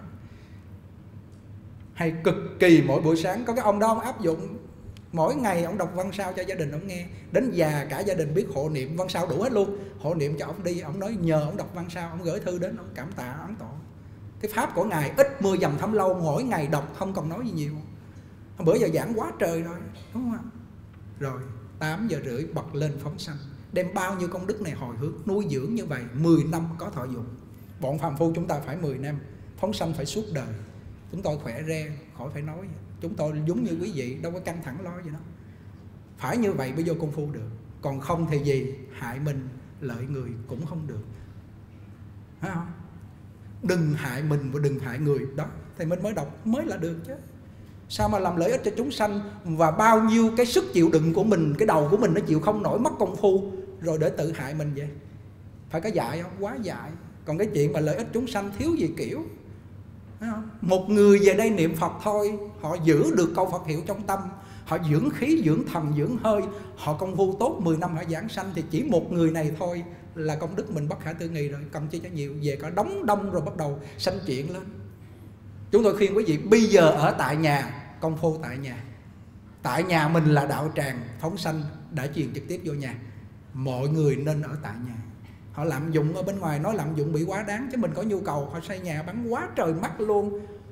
Có những người bán mắc thôi có những người bán cũng rẻ. Lợi dụng Phật pháp. Dĩ nhiên, được mua thuận bán, thuận mua vừa bán, được. Chúng tôi không có chỉ trách gì cả. Nhưng mà đừng có lợi dụng và phật tử về đây quá trời đông. Ngài nói hàng ngày cái thăng to kéo cho đông người về đi. Có chuyện chuyện gì đệ tử của họ ở đâu tỉnh khác về đây khen mình, coi chừng có chuyện nhiều người quá, họ họ sẽ sẽ có cái chuyện bọn phàm phu chưa dứt dứt trừ được tham sân si, mà đã dứt trừ được tham sân si, mạng nghi là chứng a la hán họ chưa còn, họ vẫn còn đó là tư hoặc thì coi chừng bất luận là tu sĩ hay cư sĩ. Bản thân mọi người tu sĩ đã biết còn tham sân si nhờ họ phục được nó tốt. Còn không phục nước, không phục được nó thì coi chừng coi chừng người bên cạnh có chuyện với họ. Cho nên hôm nay chúng tôi thực sự tài năng chả có gì làm được hai chục năm nay cái thất bằng ton thôi, ở đó niệm phật. Ở khu chiên tu được cái cảnh cái duyên phật tử cúng dường làm tương đối khang trang một chút. Bây giờ phải tự nhủ, sống ổn 49 năm. Tháng ngày chẳng còn mấy. Như tù dắt ra chợ, mỗi bước lầm cái chết. Tạ tiệc hết thảy sự để chuyên tu tịnh nghiệp. Nếu hiểu lòng ngu thành của mạc nhân giác nhàn, mới là chân liên hữu thấm cái bài kệ này vô. Tìm một cái chỗ chuyên tu ổn, vừa có đại chúng, hàng ngày ra niệm phật với đại chúng. Hết hai, hết ba thời công phu. Sáng thời kinh di đà, chiều đại bi lễ quan âm. Y như trên này chứ không có gì khác. Tối, mình làm thời nữa, hàng ngày nhớ câu Phật hiệu, buông vạn duyên, đem cái tâm chẳng nhiễm mỹ trầm niệm câu Phật hiệu. Người này có thành tựu.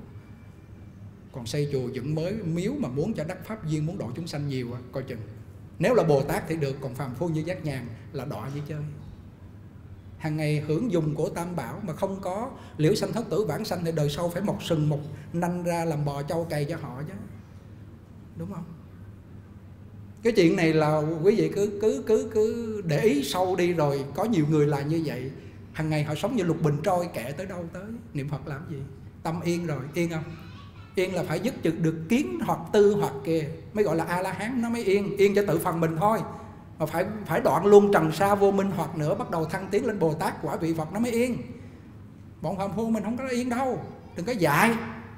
Phải niệm câu phật hiệu đi, chúng tôi kinh nghiệm hơn 30 năm rồi.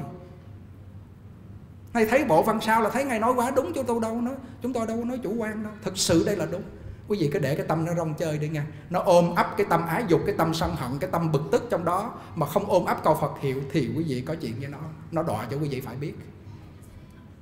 Gần chết rồi nó mới hải hùng. Mất hơi thở rồi mới thấy nó hải hùng.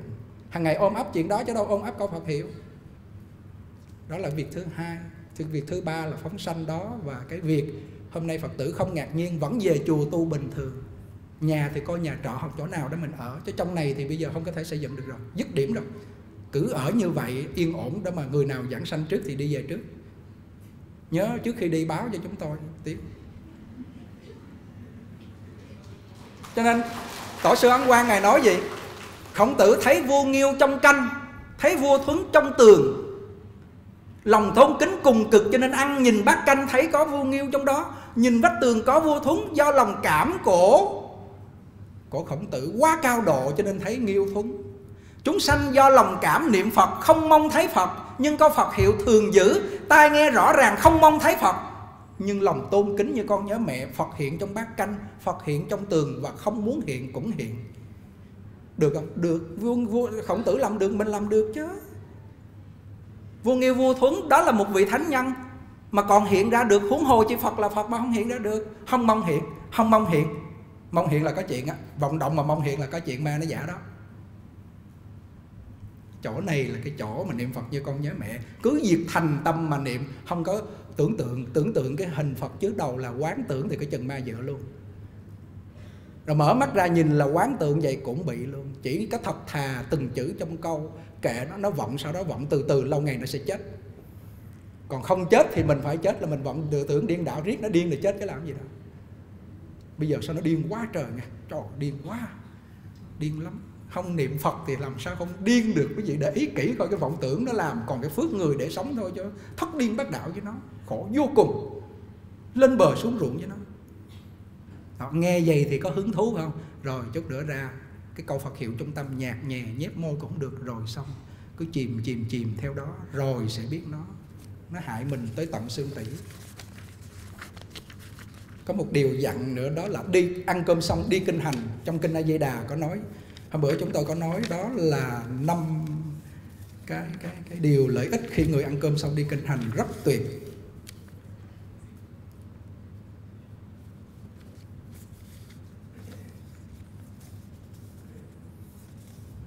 Đây. Người ở tây phương cực lạc á, xá lợi phất lại trong cõi nước của đức phật, đó là đức Phật ờ, Đức A Di Đà ở Tây phương cực lạc đó, thường trỗi nhạc trời đất bằng vàng rồng ngày đêm sáu thời, rưới hoa trời mạng Đà La. Chúng sanh trong cõi đó thường vào lúc sáng sớm, đều lấy đẩy hoa đựng những hoa tốt, đem cúng dường mười phương ức Đức Phật ở phương khác, đến giờ ăn liền trở về bốn quốc, ăn cơm xong, đi kinh hành. Người ở Tây phương cực lạc là thân đó là thân thân đó là thân kim cang bất khỏi rồi ăn cơm xong đi kinh hành. Còn mình ở cõi ta bà, ăn cơm xong, đi nằm. Thì bệnh rồi à, ăn cơm xong bấm điện thoại. Ăn cơm xong nói chuyện. Ăn cơm xong ngồi uống trà. Bị bệnh. Năm điều lợi ích ăn cơm xong đi kinh hành. Sách thích thị yếu lãm chép một ăn cơm xong đi kinh hành là vận động cơ thể cho khang kiện. Tức là người ăn cơm xong họ đi kinh hành là thân thể họ khỏe khang kiện lắm. Thức ăn đó được tiêu hóa rất tốt. Thứ hai là luyện tâm cho có sức mạnh đi, trong tâm họ giữ câu Phật hiệu. Tuy rằng mới ăn cơm hơi khó chịu, một chút không đáng kể, niệm luôn. Ba, trừ được nhiều chứng bệnh. Bốn, giúp thêm sự tiêu hóa. Năm, làm cho ý chí kiên cố. Ăn cơm xong đi kinh hành. Còn nếu ăn cơm xong đi nằm, ha, thì thân thể mệt mỏi, bệnh hoạn yếu đuối. Thứ hai, tâm khiếp nhược. Ấn tổ có nói, cái người mà tâm khiếp nhược, tâm sợ hãi mà niệm trong tâm lâu ngày tự mất lâu ngày chứ không lâu đâu, khoảng 10 ngày là bắt đầu nó giảm là mất. Thấy là bắt đầu cái khối nguyên khí thái hòa thái hòa. Thứ ba, người ăn cơm xong nằm là gì? Nhiều bệnh tật. Thứ tư, người ăn cơm xong đi nằm thêm làm cho tiêu hóa không có tiêu. Và thứ năm đó là làm cho ý chí bạc nhược, khiếp nhược. Ở cõi tây phương cực lạc, đệ tử của đức phật di đà toàn là a la hán không? Nghĩa là sao?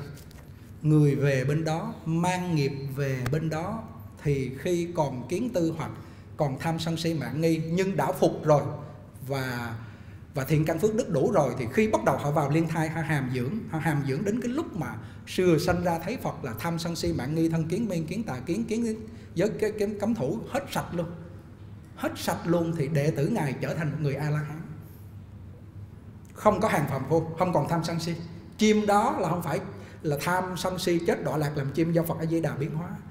Và có cây cũng thiết pháp, nước cũng thiết pháp và cảnh giới trên đó thì bất khả tư nghì do tâm thanh tịnh là chiêu cảm về cảnh giới thanh tịnh là tây phương cực lạc.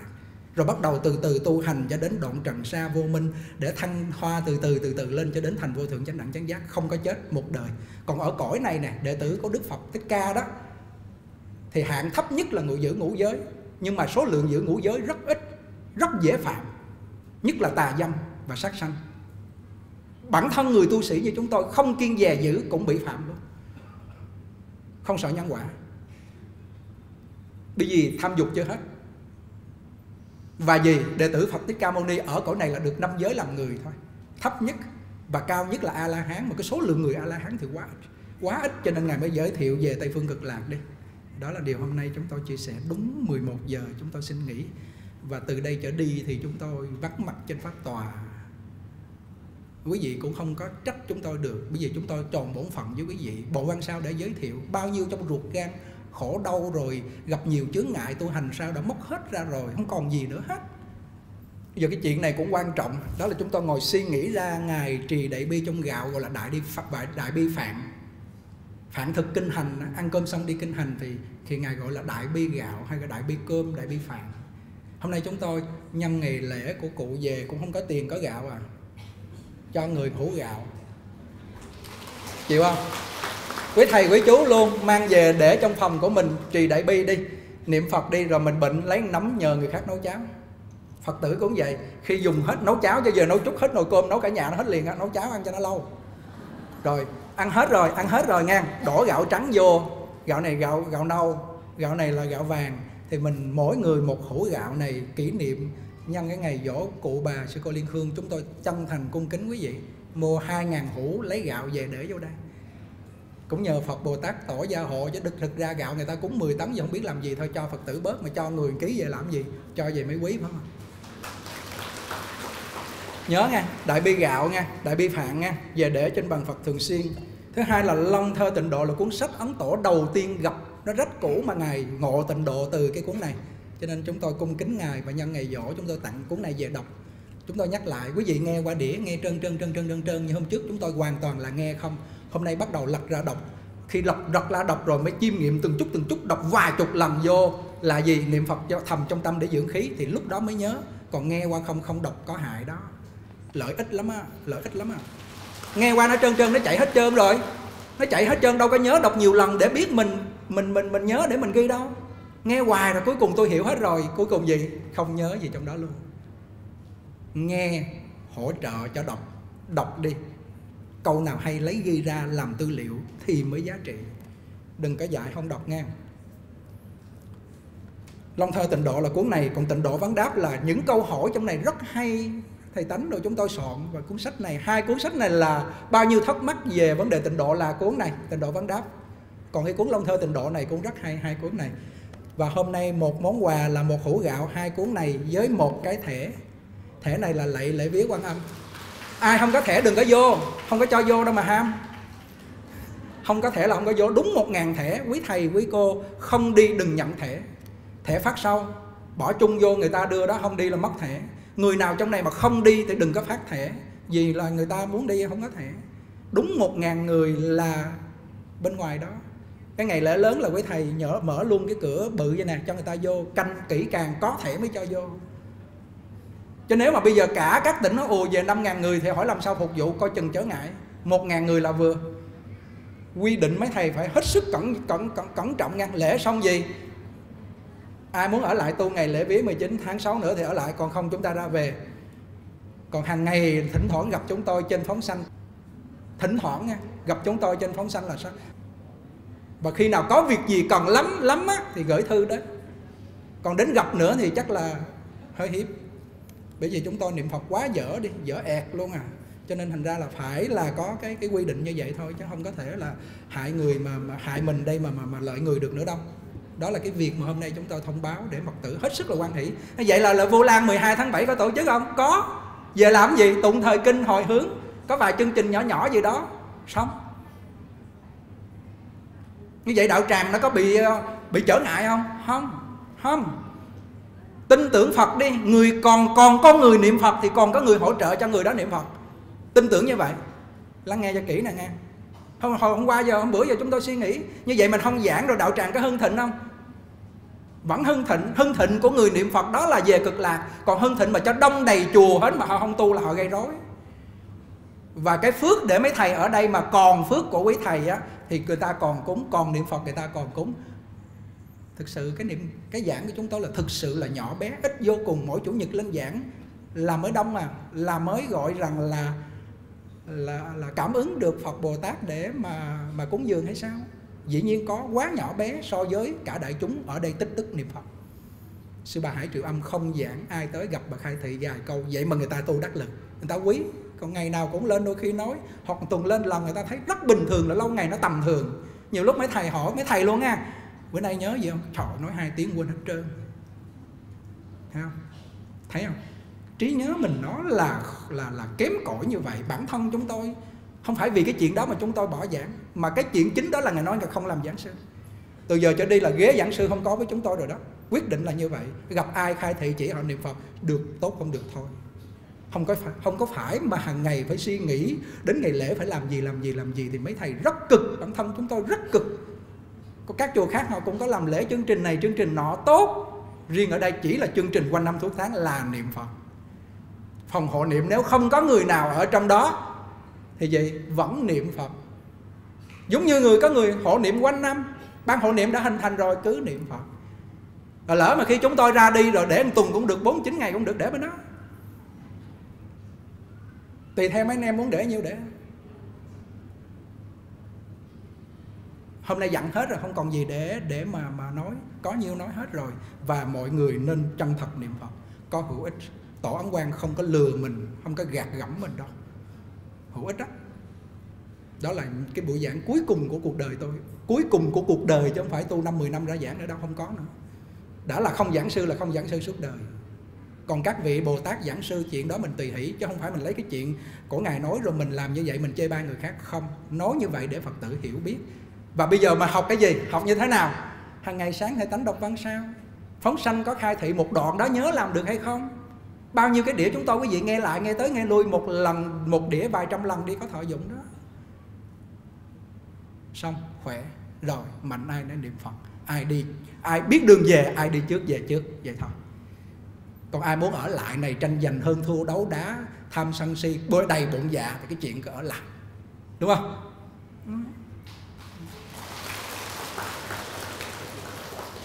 Nguyện à, đem à, công à, đức này hướng về khắp tất cả đệ tử và sanh đồng sanh về tịnh độ